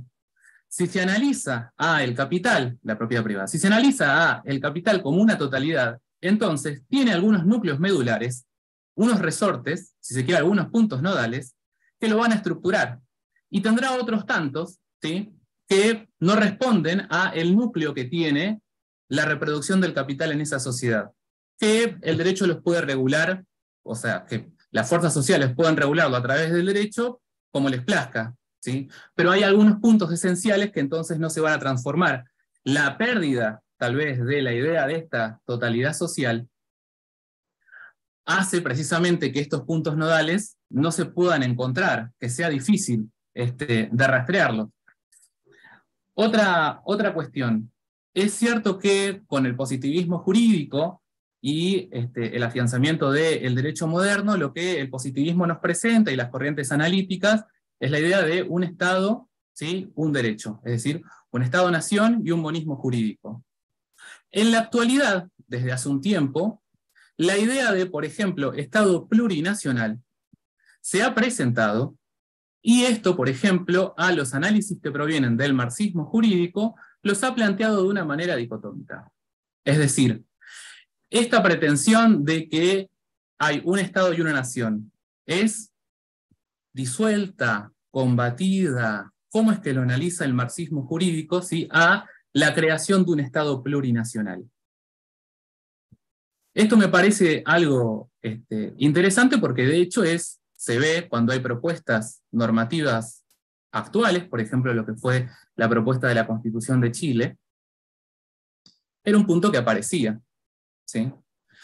Entonces, no tanto para este, decir si acaso se está este, rompiendo la idea del monismo jurídico, sino precisamente para ver cómo es que se analiza. Hay otra de las cuestiones eh, a las cuales Mirai hacía referencia, pero al principio, este problema, tal vez en algunos sectores de las teorías este, jurídicas neomarxistas, que se quedan en una actitud también de filosofía de la sospecha, ¿no? de ver qué es lo que está funcionando, cómo es que está funcionando, y el pasaje a una acción más propositiva, de entonces cómo es que se debe regular o cómo es que se deben analizar algunas categorías. En ese sentido, ¿Cuáles son al día de hoy ¿sí? los grandes aportes y además las herramientas que tenemos desde estas corrientes, este, yo diría más neomarxistas que ortodoxas, ya no, no, están tan este, vigentes, eh, respecto de lo que entendemos y queremos construir, en todo caso, como Estado, como democracia, como democracia representativa, por ejemplo. Digo, para no caer también este, en, el ámbito solo de la crítica a lo que el derecho moderno es, que es muy necesaria, ¿sí? sino a su vez de cuáles son esas otras opciones o vías que se pueden pensar, obviamente, como fue subrayado durante toda la, este, durante toda la exposición, la forma jurídica acompaña este, a la forma social, no la, este, no la dirige. ¿sí? Los que trabajamos en algún momento en, territorio con comunidades o con algún, con algún tipo de, sujeto colectivo, este, entendemos que las herramientas de, que nos propone, por ejemplo, que nos da eh, el derecho estatal, están en función de lo que la lucha social en territorio, lo que los actores deciden que hay que hacer. Pero a su vez también hay una tal vez función que desde nuestro lugar tenemos que hacer, además de hacer una crítica a el derecho moderno, de tratar de pensar otras vías o re este, conceptualizaciones o de creación nueva, por ejemplo, como hablaba Milay de eh, algo que viene de larga data, pero eh, el derecho a la propiedad personal, ¿sí? estas disputas que es necesario dar, además del ámbito eh, pedagógico y de enseñanza. Bueno, yo hasta acá hay muchas otras cosas que, se me venían a la mente mientras la, escuchaba Milay, pero creo que partiría con esas preguntas, no sé bien eh, si la dinámica es ella responde y después vuelvo a repreguntar, o se abre al, público en general. Este, pero bueno, me gustaría, por ejemplo, ver estas cuestiones, relación entre derecho y totalidad social en los marxismos ortodoxos y heterodoxos, la, cómo se analiza el Estado plurinacional, por ejemplo, desde los marxismos este, heterodoxos, eh, y cuáles serían las herramientas que tenemos para resignificar o repensar otras categorías jurídicas, ¿sí? que pueden ser tanto, digo, pensar, crear, eh, dentro del marco actual en el que estamos, digo, en, la región, lo pienso, ¿no? Desde hace días lo que pasó en Brasil, bueno, todo un contexto que este, todos acá sabemos. Eh, eso, y nuevamente agradecerles por la, este, por la invitación y por la posibilidad de hacer algunos, este, algunos comentarios marginales. Muchas gracias.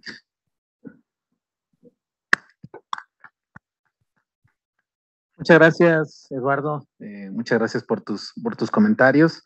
Eh, y bueno, tenemos ya algunas preguntas en, en, la red que quisiéramos aquí anunciar, pero antes, por supuesto, aquí en, en sala, este, eh, por, favor, les, les pasamos el, micrófono. Uno, dos, tres. Por favor, sí. Gracias. Eh, muchas gracias eh, y, pues gracias Milay por la, por la exposición. Digo, como tú sabes, yo no soy una persona muy de teoría, em, pero hay una cosa que em, va a salir como pregunta, comentario, pero que sí me preocupa que tiene que ver con con que en esta, eh, esta necesidad o estas ganas de conciliar la visión crítica marxista más ortodoxa con eh, lo que observamos respecto de los cambios sociales que acaban eh, incidiendo en el derecho, en el mundo de lo jurídico, me preocupa que de pronto, o sea, no sé si de pronto yo siento como que se empieza a perder un filo crítico del derecho. perdón, del marxismo, el derecho no. El derecho no tiene. Este, em, pienso que, por ejemplo, em, ahora sí que va a ser como una especie de defensa de, la visión ortodoxa, ¿no? Em, me preocupa en, cierta medida porque creo que precisamente eh, eh, pensar el derecho como una esencia em, de dominación eh, es, es, en gran medida la razón por la que peleamos por el derecho. O sea, cuando yo tengo dos puntos, ¿no? Una es que los desposeídos absolutos no usan el derecho. Para llegar al derecho tienes que tener poder.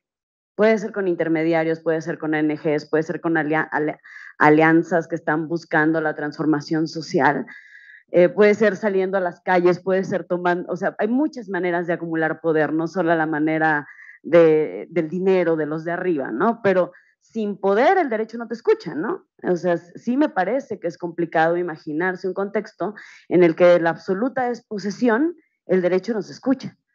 Em, incluso como, bueno, tú sabes, yo trabajo con ciertas luchas sociales, pues nos queda muy claro que tenemos que construir alianzas, que tienes que buscar qué capitales llevas a, ese plano, ¿no? Entonces está primero ese elemento como de, sociológico, de la experiencia, de tratar de usar el derecho para causas, digámosle, contrahegemónicas, digámosle de transformación, digámosle progresistas, pero luego está el segundo punto, ¿para qué peleamos en el derecho? Peleamos en el derecho porque necesitamos su fuerza represora. Y sí, yo estoy de acuerdo en que el derecho tiene un elemento educativo y que igual que el educativo tiene un elemento disciplinador. Cuando tú luchas, cuando desde las luchas, por ejemplo, de la población LGBT luchas porque haya matrimonio eh, igualitario, no es porque estés buscando necesariamente casarte, es que estás buscando un status quo que se les reconoce a los heterosexuales en la sociedad. Y que si lo logras en el derecho, esa posibilidad, no solo la violencia real, sino también la violencia simbólica de decir, esto es. El matrimonio no es solamente una unión entre hombres y mujeres. Y como si lo dice el derecho, esa voz tiene más fuerza, nos interesa pelear esa voz. ¿Por qué buscamos el derecho al aborto? No necesariamente porque una quiera abortar. Buscas el, el, derecho al aborto porque eso transforma la idea social de que las mujeres tenemos como fin último y superior reproducirnos y la maternidad. Y si ganamos eso, aunque hay un montón de gente que no esté de acuerdo, el derecho desde su violencia simbólica, su violencia represiva, nos vira una cosa, ya no nos puede violentar el propio Estado, aunque sí lo hace, pero bueno, eh, te la de otro costado. Entonces, a mí sí me parece que pensar en el derecho como ese ejercicio de violencia, hegemonía, tiene un punto. Incluso tiene un punto en el uso que se hace desde las luchas progresistas. Eh, y, y, me preocupan, o sea, yo entiendo que el derecho se usa para otras cosas, pero creo que precisamente cuando llegan en el derecho, eh, creo que, bueno, a lo que voy es que creo que lo que la observación más ortodoxa nos señala es que el derecho crea status quo, el derecho mantiene status quo. Y cuando peleamos por el derecho, estamos peleando por ese status quo. Es la misma razón por la que peleamos por el gobierno. Eh, a mí siempre me parece que esas, eh, que las visiones que no buscan, que son críticas, pero no buscan evitar la hegemonía, tienen ahí un punto que siempre es complicado, ¿no? A mí me parece que precisamente buscamos en gran medida evitar la hegemonía. Y, y desde eso, capaz que te planteas, como, como explicabas en una parte de tu exposición, este, crear eh, otras formas de lo jurídico, ¿no? Eh, ahí me parece también, y una cosa que me parece muy interesante es eh, la decisión, que yo lo vi justo primero en, en, en, en diálogos sobre abogacía alternativa en Argentina, eh, esa decisión que de pronto se hace entre el neoliberalismo y los derechos humanos. O sea, yo creo que precisamente si ves a los derechos humanos con la mirada ortodoxa marxista más tradicional, te tendrías que dar cuenta que los derechos humanos no son antipropiedad privada. Y los derechos humanos son enarbolados constantemente para la defensa de la propiedad privada. Y eh, si vemos incluso la genealogía de los derechos humanos por, por, su propia construcción histórica, que vienen de donde vienen, eh, pues tienen, eh, tienen una, una, visión de mucha protección de lo privado, de lo individual, de la expresión individual, de bueno, estas cosas que ya sabemos, ¿no? Ahora, eso no significa que no puedas insertar otras narrativas en los derechos humanos o que no puedas habitar los derechos humanos de otra manera o que no puedas ir a los tribunales con una bandera de derechos humanos para una causa progresista, pero sí significa que, pues igualmente, cuando, cuando tú dices, yo quiero que el derecho al agua sea un derecho humano, de nuevo, es porque lo que quieres es usar esto que consideramos tan importante y que la sociedad elige poner como los objetivos principales y decir, yo quiero estar ahí. Porque si yo estoy ahí, eso significa otras cosas. Entonces, no sé, a mí me parece que hay, que hay, que, hay que, capaz, es una idea que vengo madurando desde hace mucho tiempo cuando alguien hablaba, creo que era justo Liliana, de mm, el uso hegemónico en el derecho. De hecho, siempre tiene un uso hegemónico. O sea, porque su, visión de status quo es la razón por la que nos interesa el derecho. Si el derecho nadie lo va a apelar, pues ¿para qué queremos eso? Pues ¿para qué tanto esfuerzo para algo que no va a tener dientes, no? Em, bueno, entonces esa era como un poco eh, mi preocupación, mezclada con comentario, mezclada con... Pero tengo una última pregunta, rapidísimo.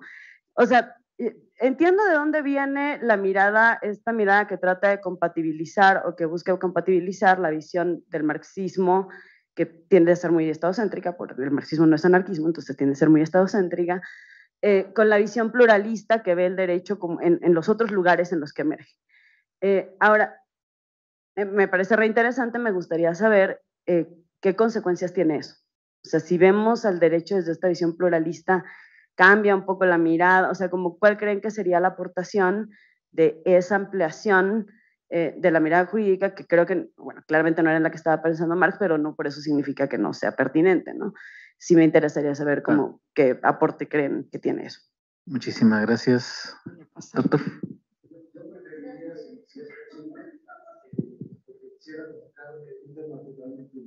Si le contestan a ella primero. Eh, ah, ok, es que estamos haciendo un acumulado de, bueno, porque si no, bueno, eh, ok, entonces este, vamos a mezclar temas. Eh, eh, eh bueno, nosotros, en, los economistas, entendemos como instituciones, y ahí incluimos el, derecho, como las reglas del juego de la, de la sociedad, ¿no? Y este, hay un hecho curioso que es, bueno, no curioso, muy, muy importante, que es, este, eh, por ejemplo, los países que, que, se desarrollaron después de los primeros países que se, de Inglaterra y Estados Unidos, estos países eh, tuvieron que idear una forma de cómo alcanzar a los, a los líderes. Y en, Alemania a finales del siglo, eh, siglo XIX, en, prácticamente en 40 años, de ser un, país eh, sumamente subdesarrollado, logró el desarrollo en unas cuantas décadas, como lo ha hecho China en, tiempos recientes. Y una de las características de estos por cierto, nada más es, los japoneses fueron a Alemania y aprendieron el modelo, luego lo impusieron en Japón. Japón este, lo transmitió a, después de la Segunda Guerra Mundial a su ex colonia Corea del Sur. De ahí se, se adoptó en, en, este, en, en, Taiwán y en China, y de China también ha pasado a Vietnam y a, otros países. Y las características son, es un gobierno legítimo, pero ha pasado desde la, el imperio alemán al comunismo chino, pero son gobiernos legítimos. Un nacionalismo extremo en el que eh, es, es, justo eh, eh, imponerle a, los individuos sacrificios actuales a una generación en aras de la nación o de la sociedad en el futuro. Tercero, la, la, sociedad o la nación está por arriba del individuo. Y en ese sentido, los sacrificios individuales se justifican en el bien de la nación o de la sociedad. Y tercero es planificar el capitalismo, planificar el crecimiento. Y eso ha provocado grandes transformaciones sociales en muy pocos años y ha sacado de la pobreza a muchísima gente. Y por otro lado, el concepto de democracia, eh, eh, bueno, pues, será, su origen en Grecia, pero el modelo dominante es el modelo que surgió de los Estados Unidos. Y en ese sentido es la, práctica que se le impuso, por ejemplo, a Alemania después de la guerra o a Japón después de la guerra se le impuso, o a Corea, este, y, es el que se utiliza para, eh, para dominar América Latina. Este, a través de esta democracia es que se manipula a la sociedad para que este, a través de los llamados derechos, derechos individuales se minen la, la obtención de consensos y de, y de una política nacional. Entonces, eh, ¿cómo en esta eh, eh, de espagueti de conceptos que, este, que, que, nos podrían decir. Muchas gracias. Acá había una pregunta. ¿Tú también? Sí. Va. Gracias. Bueno, gracias. Pues trataré de ser breve. Este, tengo mucho tiempo yo trabajando el tema de agua y me llamó la atención que se comentó en varias ocasiones Y lo que yo he estado observando, eh, actualmente mi trabajo de, tesis tiene que ver con un manejo este, heterodoxo de la, situación del agua, pero también he estado ya, yo he sido este, funcionario municipal de agua, he estado trabajando para asociaciones este, eh, nacionales que tienen que ver con el tema y claro, también hemos estado en algunas luchas este, de algunas personas del tema de Jalisco, lo conozco perfectamente bien ahí con el zapotillo. Lo que sí logro ver es que hay una mezcla todavía muy complicada acerca de todo lo que venimos teniendo como derechos y normas relativas al agua. Por un lado, tenemos una constitución que sigue manteniendo lo de 1917 en el artículo 27, donde dice la, el agua es propiedad de la nación. Pero luego en el 92, con la ley de aguas nacionales, se involucran un montón de derechos privados, como los han, los han mencionado, que efectivamente en este caso, por ejemplo, para los prestadores de servicios de agua se vuelve un problema porque el derecho privado de una persona que tiene toda la capacidad de poder pagar por su servicio, de no derrochar cantidad importantes de agua, se mantiene simplemente por su cuestión de derecho humano. Bueno, después del 92 viene en el 2012 este, la consagración en el, artículo cuarto de la Constitución que el agua es un derecho humano. Además, el saneamiento es otro, entonces ahora son dos. Entonces, en aras de eso, se, pide que se, expida en el párrafo tercero este, la Ley General de Agua.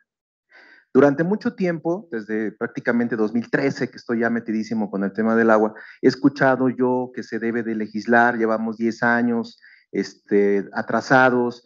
Hay quien dice, es que ha habido grupos que quieren reformar toda la ley de aguas nacionales. Y dice, no, no, no, es que el cuarto dice que solamente hay que reformar, hay que legislar, perdón, el derecho humano al saneamiento. La primera pregunta sería, ¿Es posible que podamos encontrar otro modelo de gestión del agua en México sin necesidad de modificar una ley este, de aguas nacionales por una ley general? Porque entiendo, sin ser abogado, que son dos mecanismos jurídicos diferentes. Uno, por una parte, lo que es una ley general y otra que como, es actualmente la ley de aguas nacionales. Eso sí no lo entiendo. Pero lo que sí entiendo es que se, se superponen unos, unos artículos con otros, luego hay unas normas oficiales mexicanas que de pronto quieren ir más allá también de la, de la propia constitución y que, pues lo que yo entiendo y lo que he visto a lo largo de todos estos años trabajando en esto, es que en el imaginario social, en este caso el derecho para muchas de estas personas y de grupos sociales que han estado pugnando por todo esto, el derecho tiene más una concepción de justicia, más justicia que otras cuestiones. Es decir, no, tal vez una población no, no entiende que el derecho, algunos lo, lo, entienden como esta cuestión de dominación o como reglas del juego o como mecanismos. no, ellos dicen, es que no es justo. Entonces, con base en eso, pues tratamos de reformar, tratamos de, de poner nuevas, este, nuevas consideraciones, pero lo que sí me queda claro es que, este, pues sin una cuestión jurídica, una cuestión, un armado este, importante que cambie realmente de fondo las cuestiones, va a ser muy difícil que el modelo de gestión en México este, no pueda funcionar. Porque luego el 115 viene y parece que se contradice, porque luego el 115 mete la palabra que el Estado es quien será, perdón, el artículo cuarto dice que es el Estado el que será responsable del, de garantizar el derecho humano, pero el artículo 115 de las facultades municipales dice que es exclusiva del municipio. Entonces, pues no sé, o sea, ¿cuál, cuál, cuál vería que es esta esta cuestión de cómo entender todos estos nuevos problemas sociales y esta, en esta dinámica de cambio este, del país, cómo lo podríamos abordar, que me pudiera servir, por cierto, pues para el trabajo que estoy realizando, sin costo, por supuesto. Pues, profesora Carolina. La tesis completa. Eso ya merece honorarios, yo creo. Es, es, una pregunta de un minuto nada más para que también lo vayamos pensando justamente en el seminario. Eh, durante la exposición enunciaste, Milay, que el derecho no transforma la realidad, pero sí las relaciones sociales. Desde la economía, ¿cómo podemos eh, entender esta relación partiendo de que pues ahora las relaciones sociales de producción son transnacionales? Entonces, eh, ya estamos en la necesidad de teorizar en términos transnacionales, ampliar nuestro espacio-tiempo eh, del análisis económico. El derecho internacional también ha tenido pues este diálogo para entender las relaciones de, de propiedad, porque ahora la explotación no se reduce al Estado-nación, sino la explotación ya es global O sea, ya vemos las cadenas transnacionales, entonces, ¿cómo regular a los capitalistas transnacionales en este contexto? Quería ver, pues, el derecho internacional, porque ahorita México está defendiendo soberanía frente a, pues, eh, actores canadienses y estadounidenses y cómo se están llevando a cabo, pues, estas negociaciones. Eh, yo creo que ahí los abogados están, pues, desarrollando nueva teoría que sería bueno que que dialogáramos los economistas desde la propiedad, que ahora ya es corporativa, ¿no? No solo privada, sino privada corporativa. Hasta ahí la dejo. Muchas gracias. Ya. Es, eh, hay una gran cantidad de temas, sin duda. Este, exacto, ¿no?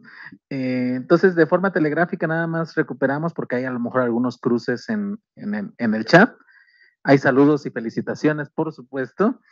Este, pero además, bueno, nada más eh, escojo unas que estén aquí eh, formuladas, ¿no?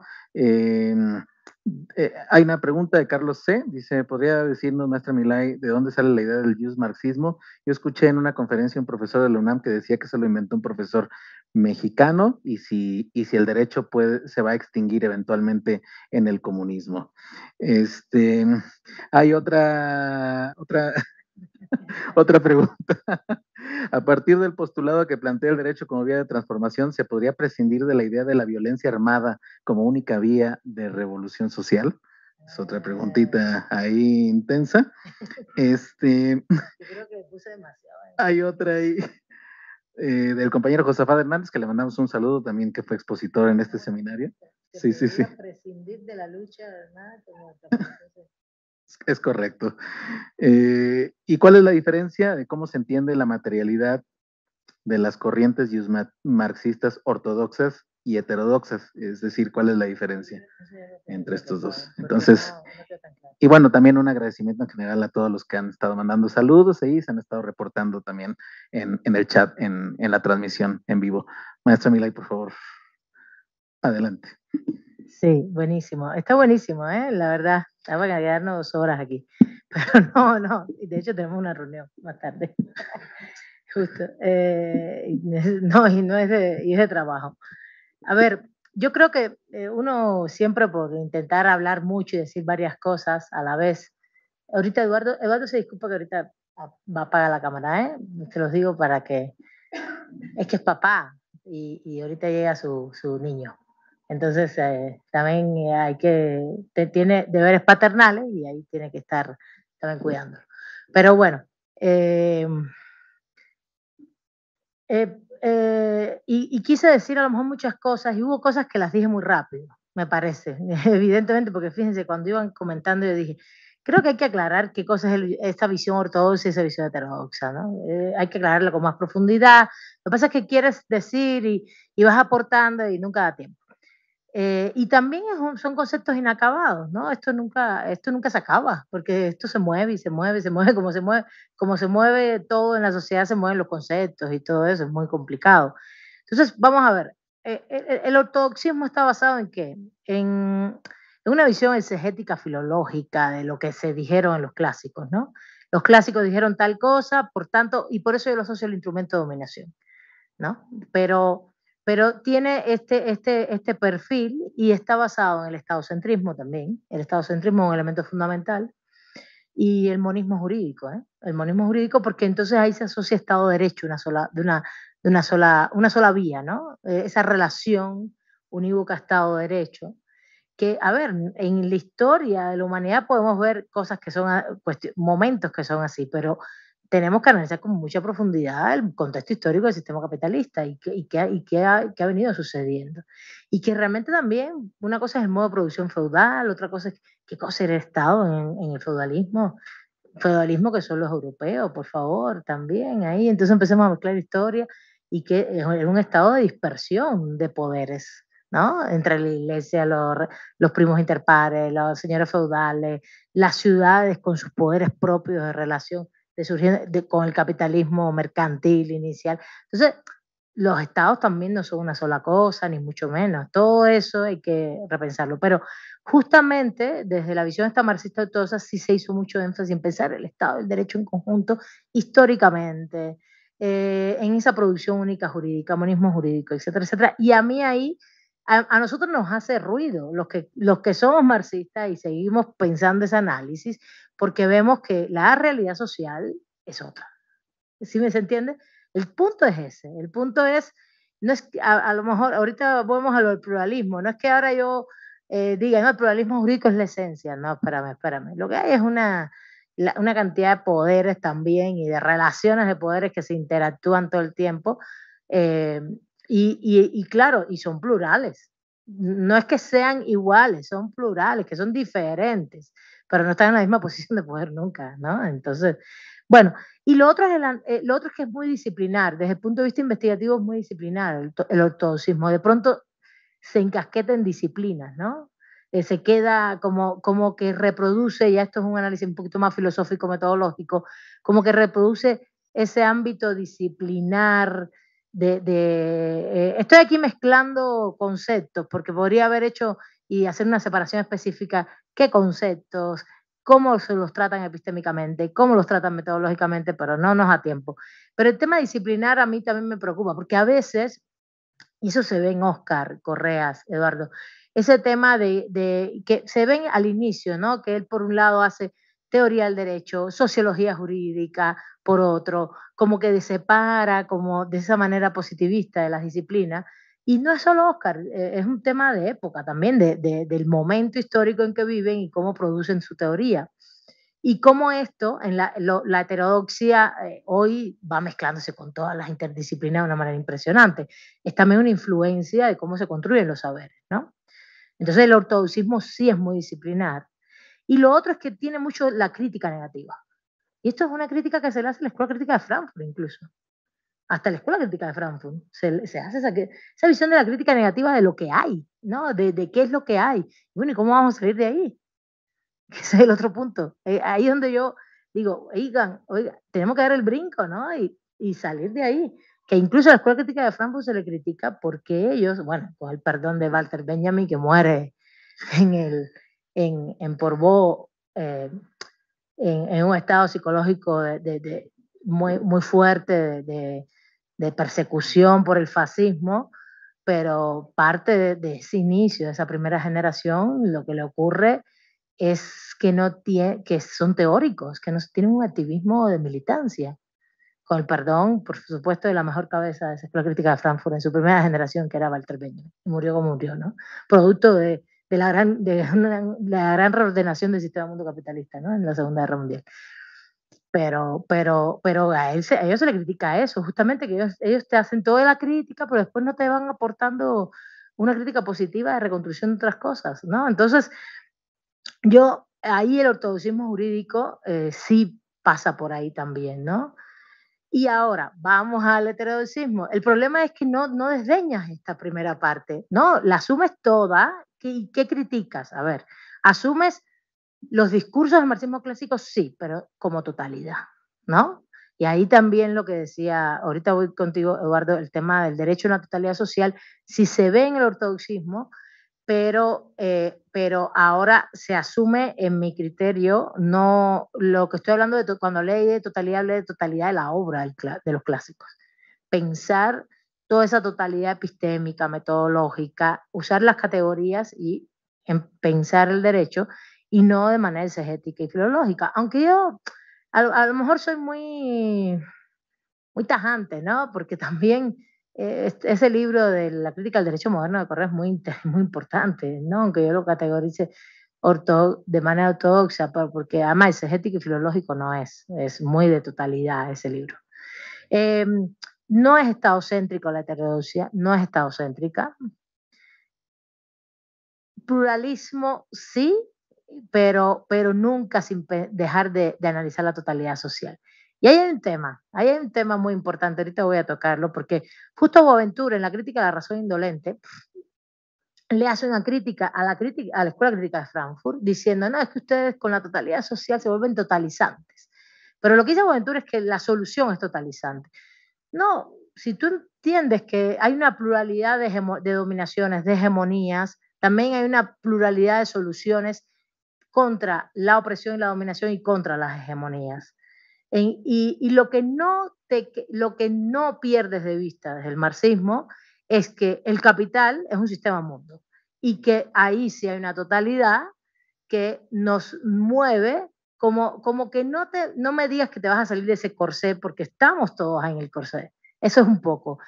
Y, yo he tenido diálogos un poco con el tema de, por ejemplo, y no las relaciones jurídicas y políticas, la relación económica de, las pueblos de las comunidades indígenas.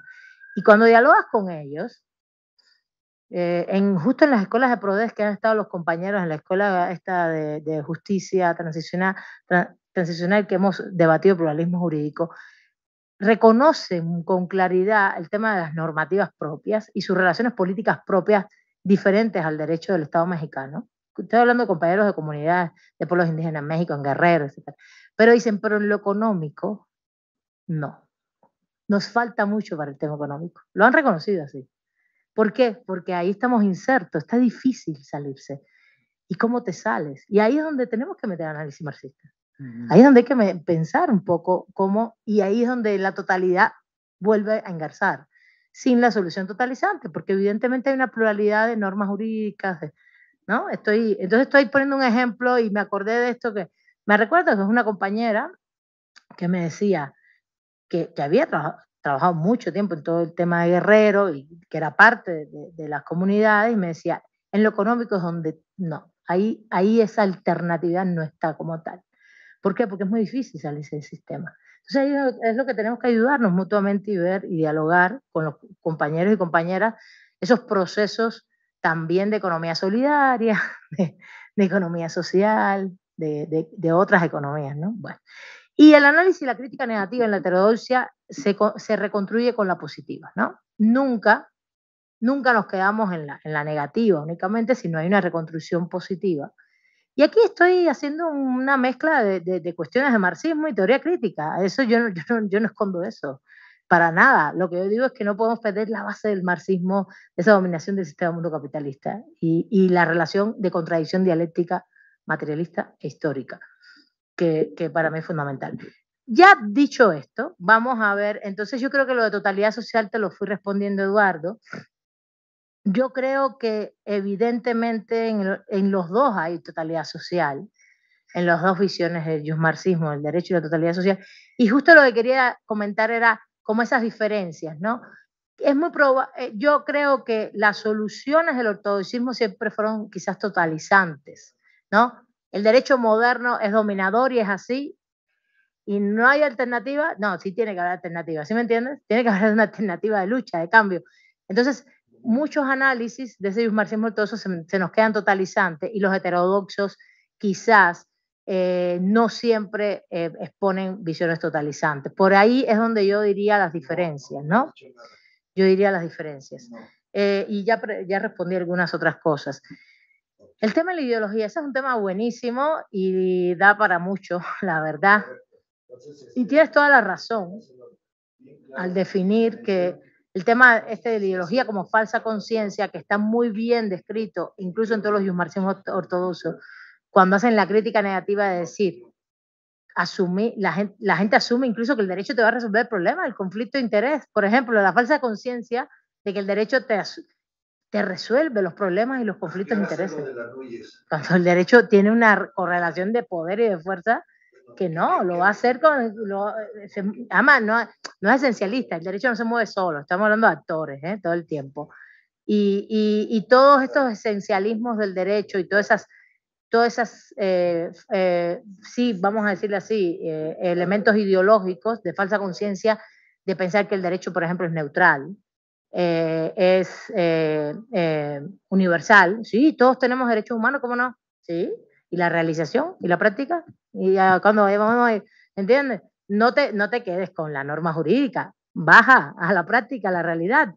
No están satisfechos, que era la gran crítica de Marx a los derechos humanos. No era el derecho humano en sí esencialista, normativo, sino a que no había en la práctica derechos humanos. Entonces, eh, en su época, ya lo decía. Entonces, eh, yo creo eh, en ese sentido, el tema de la falsa conciencia, yo estoy plenamente de acuerdo con toda esa visión ideológica, pero eso no está todo solo en el, ortodoxismo, está en la actualidad.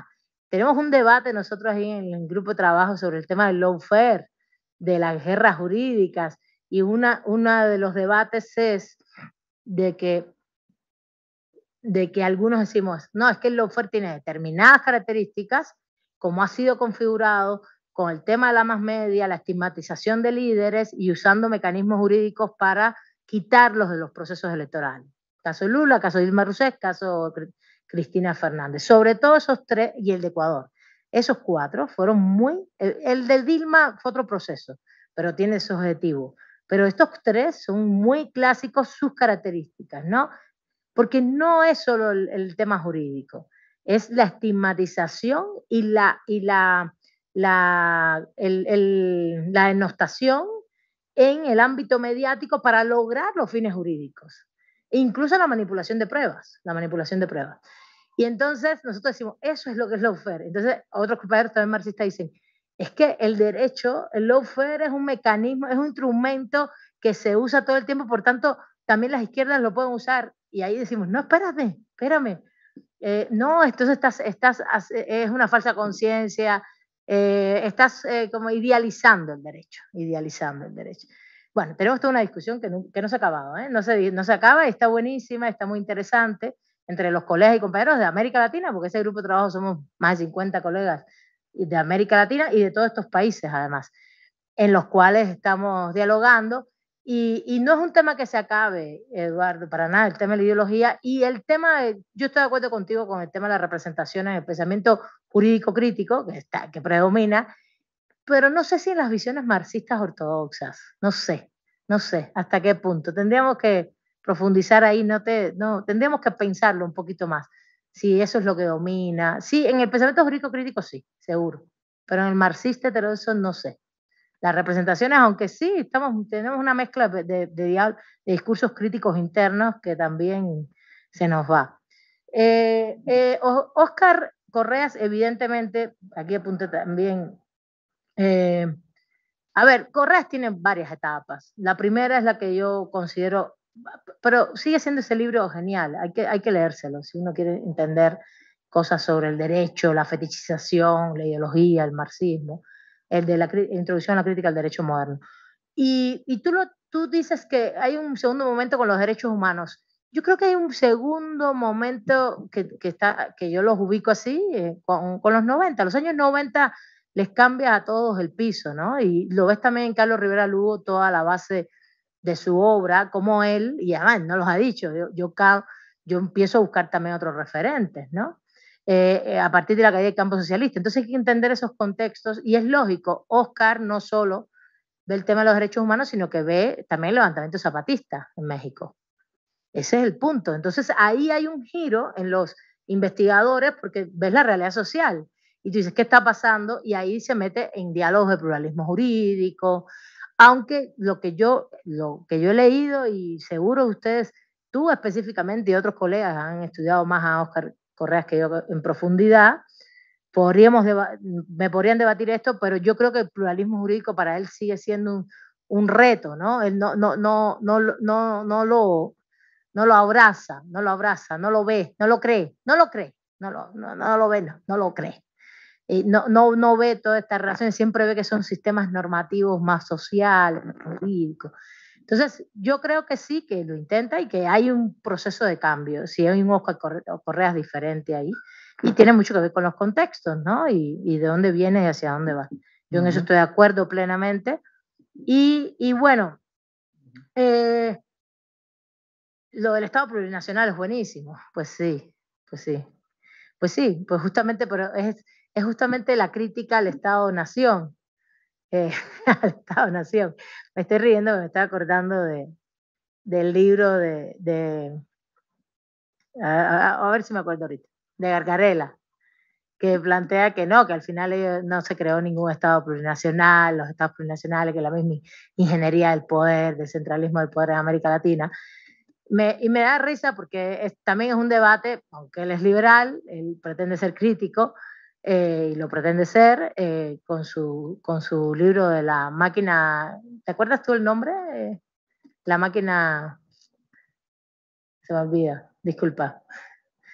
Eh, bueno, el, el, y realmente yo sí creo que estas, estas regulaciones, porque además tú hablas de Chile, pero está el tema de Bolivia, ¿no? Y el tema de Bolivia, que ha sido un reto, sí, pero el Estado plurinacional está eh, regulado constitucionalmente y el reto ha sido cómo funciona esto eh, política y jurídicamente. Ese es el reto y no ha sido nada fácil romper toda esa lógica. ¿Sí? ¿Ya? Vamos cerrando. Ah, voy cerrando, voy cerrando. Y ya por último, eh, rápidamente, lo de la ley, eso, es, eso lo dialogamos tú y yo cuando quieras. Yo hace rato no trabajo derecho humano al agua porque estoy trabajando otras cosas, pero lo trabajé durante 10 años y claro que hace falta la ley.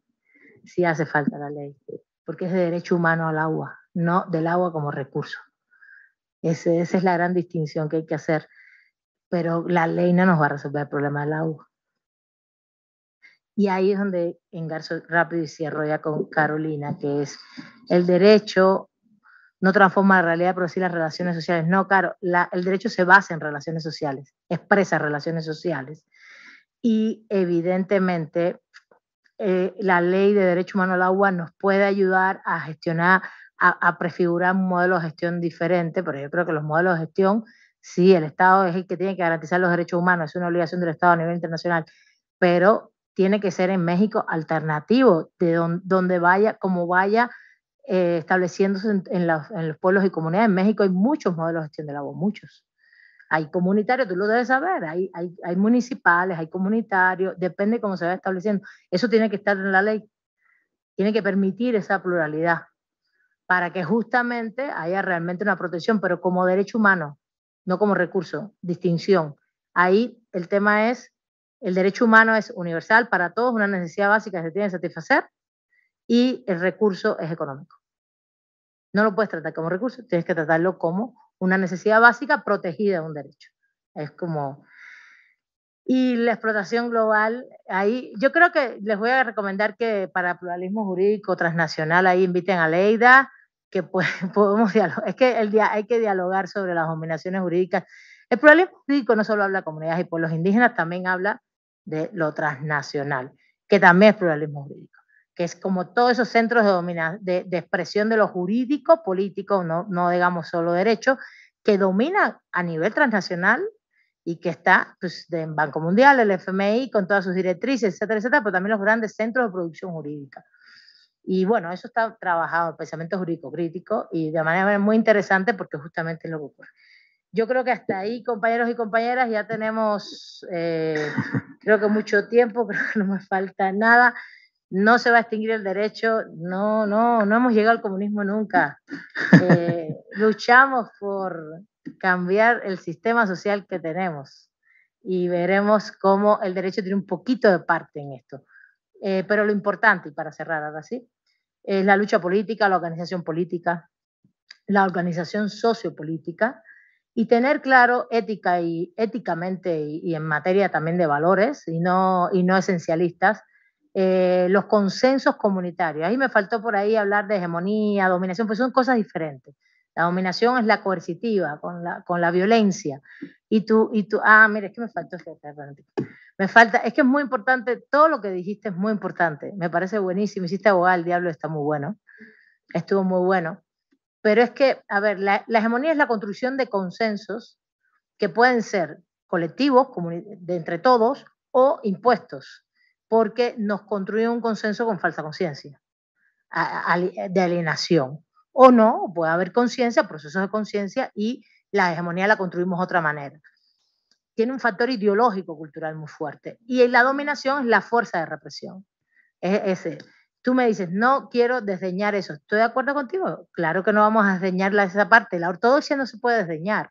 O vamos a decirlo, eso que defiende la ortodoxia, sobre todo en el sentido de dominación, eh, violencia. Claro, no, claro que no. Yo, yo estoy de acuerdo en ese sentido. Pero, eh, como tú dices, el derecho dice, tiene que ser así y lo, por eso lo estamos usando y por eso luchamos por él. Y por eso también luchamos por elecciones y vamos al Estado y luchamos ¿no? Eh, aquello de no llegar al poder y transformar la realidad, yo creo que nadie habla de eso, con el perdón de, los colegas. Pero, pero, y yo, y también se puso de abogado el diablo de decir los derechos humanos son parte del neoliberalismo. del liberalismo en su genealogía y después son parte de esa constitución neoliberal. sí, sí. Pero lo que yo creo es que no se lo podemos dejar a ellos. No, no, no. Yo creo que no se los podemos dejar a ellos y claro que son parte de todo eso. Y, y claro que, que tenemos que disputar el derecho y el Estado y la política todo el tiempo. Y el tema es que no dejárselo a la opresión. ¿Quién es el opresor? Ahora eso es lo que habría que ver. La opresión y la dominación, ¿dónde está? Y ahí es donde yo regreso al marxismo y a la base, el capital. El capital. Y ahí es donde hay que empezar a, a, ver cómo en la correlación de fuerza y en la lucha de clases disputamos lo político, lo jurídico, lo ideológico, las hegemonías, ¿no? Ahí es donde yo, y estoy de acuerdo, yo no, yo no quiero dejarle derecho a nadie, además yo quiero ahora poner las leyes y cambiar las leyes neoliberales, eso es, y cambiar las leyes neoliberales, y cambiar, claro, y, y, y, desde el poder si se puede, muy bien, y hagámoslo, y vamos a ver, pero, pero, y claro que va a ser, es una disputa, y claro que también va a ser con dominación, va a ser así, porque hay una mayoría, y, y te lo vas a imponer al otro grupo. Pero ahí la correlación de fuerzas de capital sigue estando latente y es muy fuerte, muy ruda. Y el derecho ahí no nos está cambiando el sistema, que esa es tu respuesta. No, nos, va a dar, nos va a dar unas transformaciones y unas reformas, pero no está cambiando el sistema. La transformación del sistema tiene, tiene una correlación socioeconómica el capital mucho más compleja. Y esa es la que hay que luchar. Hasta ahí. De acuerdo. Muchas gracias. Muchísimas gracias. Bueno, pues muchísimas gracias, muchísimas gracias eh, por esta sesión. Muchas gracias a todos los, los, que estuvieron participando aquí presencial y en redes. Y simplemente para finalizar, hacemos este, el aviso, el anuncio que para la próxima sesión ordinaria, el 15 de febrero, va, nos va a acompañar la doctora Elvira Concheiro, eh, también tesorera de la federación y una marxista eh, eh, importante para hablarnos de la historia del marxismo en, en México. Y antes vamos a tener el primero de febrero una sesión especial. Este, con, que va a ser un diálogo, una sesión de diálogo con el tema de esta, de esta tarde, con el doctor Raimundo Espinosa, este, que va a desarrollar una, eh, eh, tesis que se llama Crítica Jurídica Marxista frente a los procesos actuales de maquinización del derecho. Entonces, estén pendientes ahí en las redes. Muchísimas gracias de nueva cuenta. No sé si hay algo más. Sí, este, nada más, bueno, comentarles cómo vamos iniciando este 2003 con el seminario de Vuelta a Marx, que, bueno, las personas que estén presencial con el 80% de su asistencia, pues al final de este primer semestre, que será la sesión de junio, pues obtendrán su, constancia de, asistencia. Y pues nada, agradecerles a todas las personas que estuvieron aquí en, la, en el Salón Guajimalpa del Centro de Investigación y Docencia Económicas y a las personas que nos siguieron en nuestras redes sociales. Muchas gracias y hasta el próximo miércoles primero de febrero con esta sesión especial que también va a estar muy interesante. Gracias y hasta la próxima. Muchas gracias.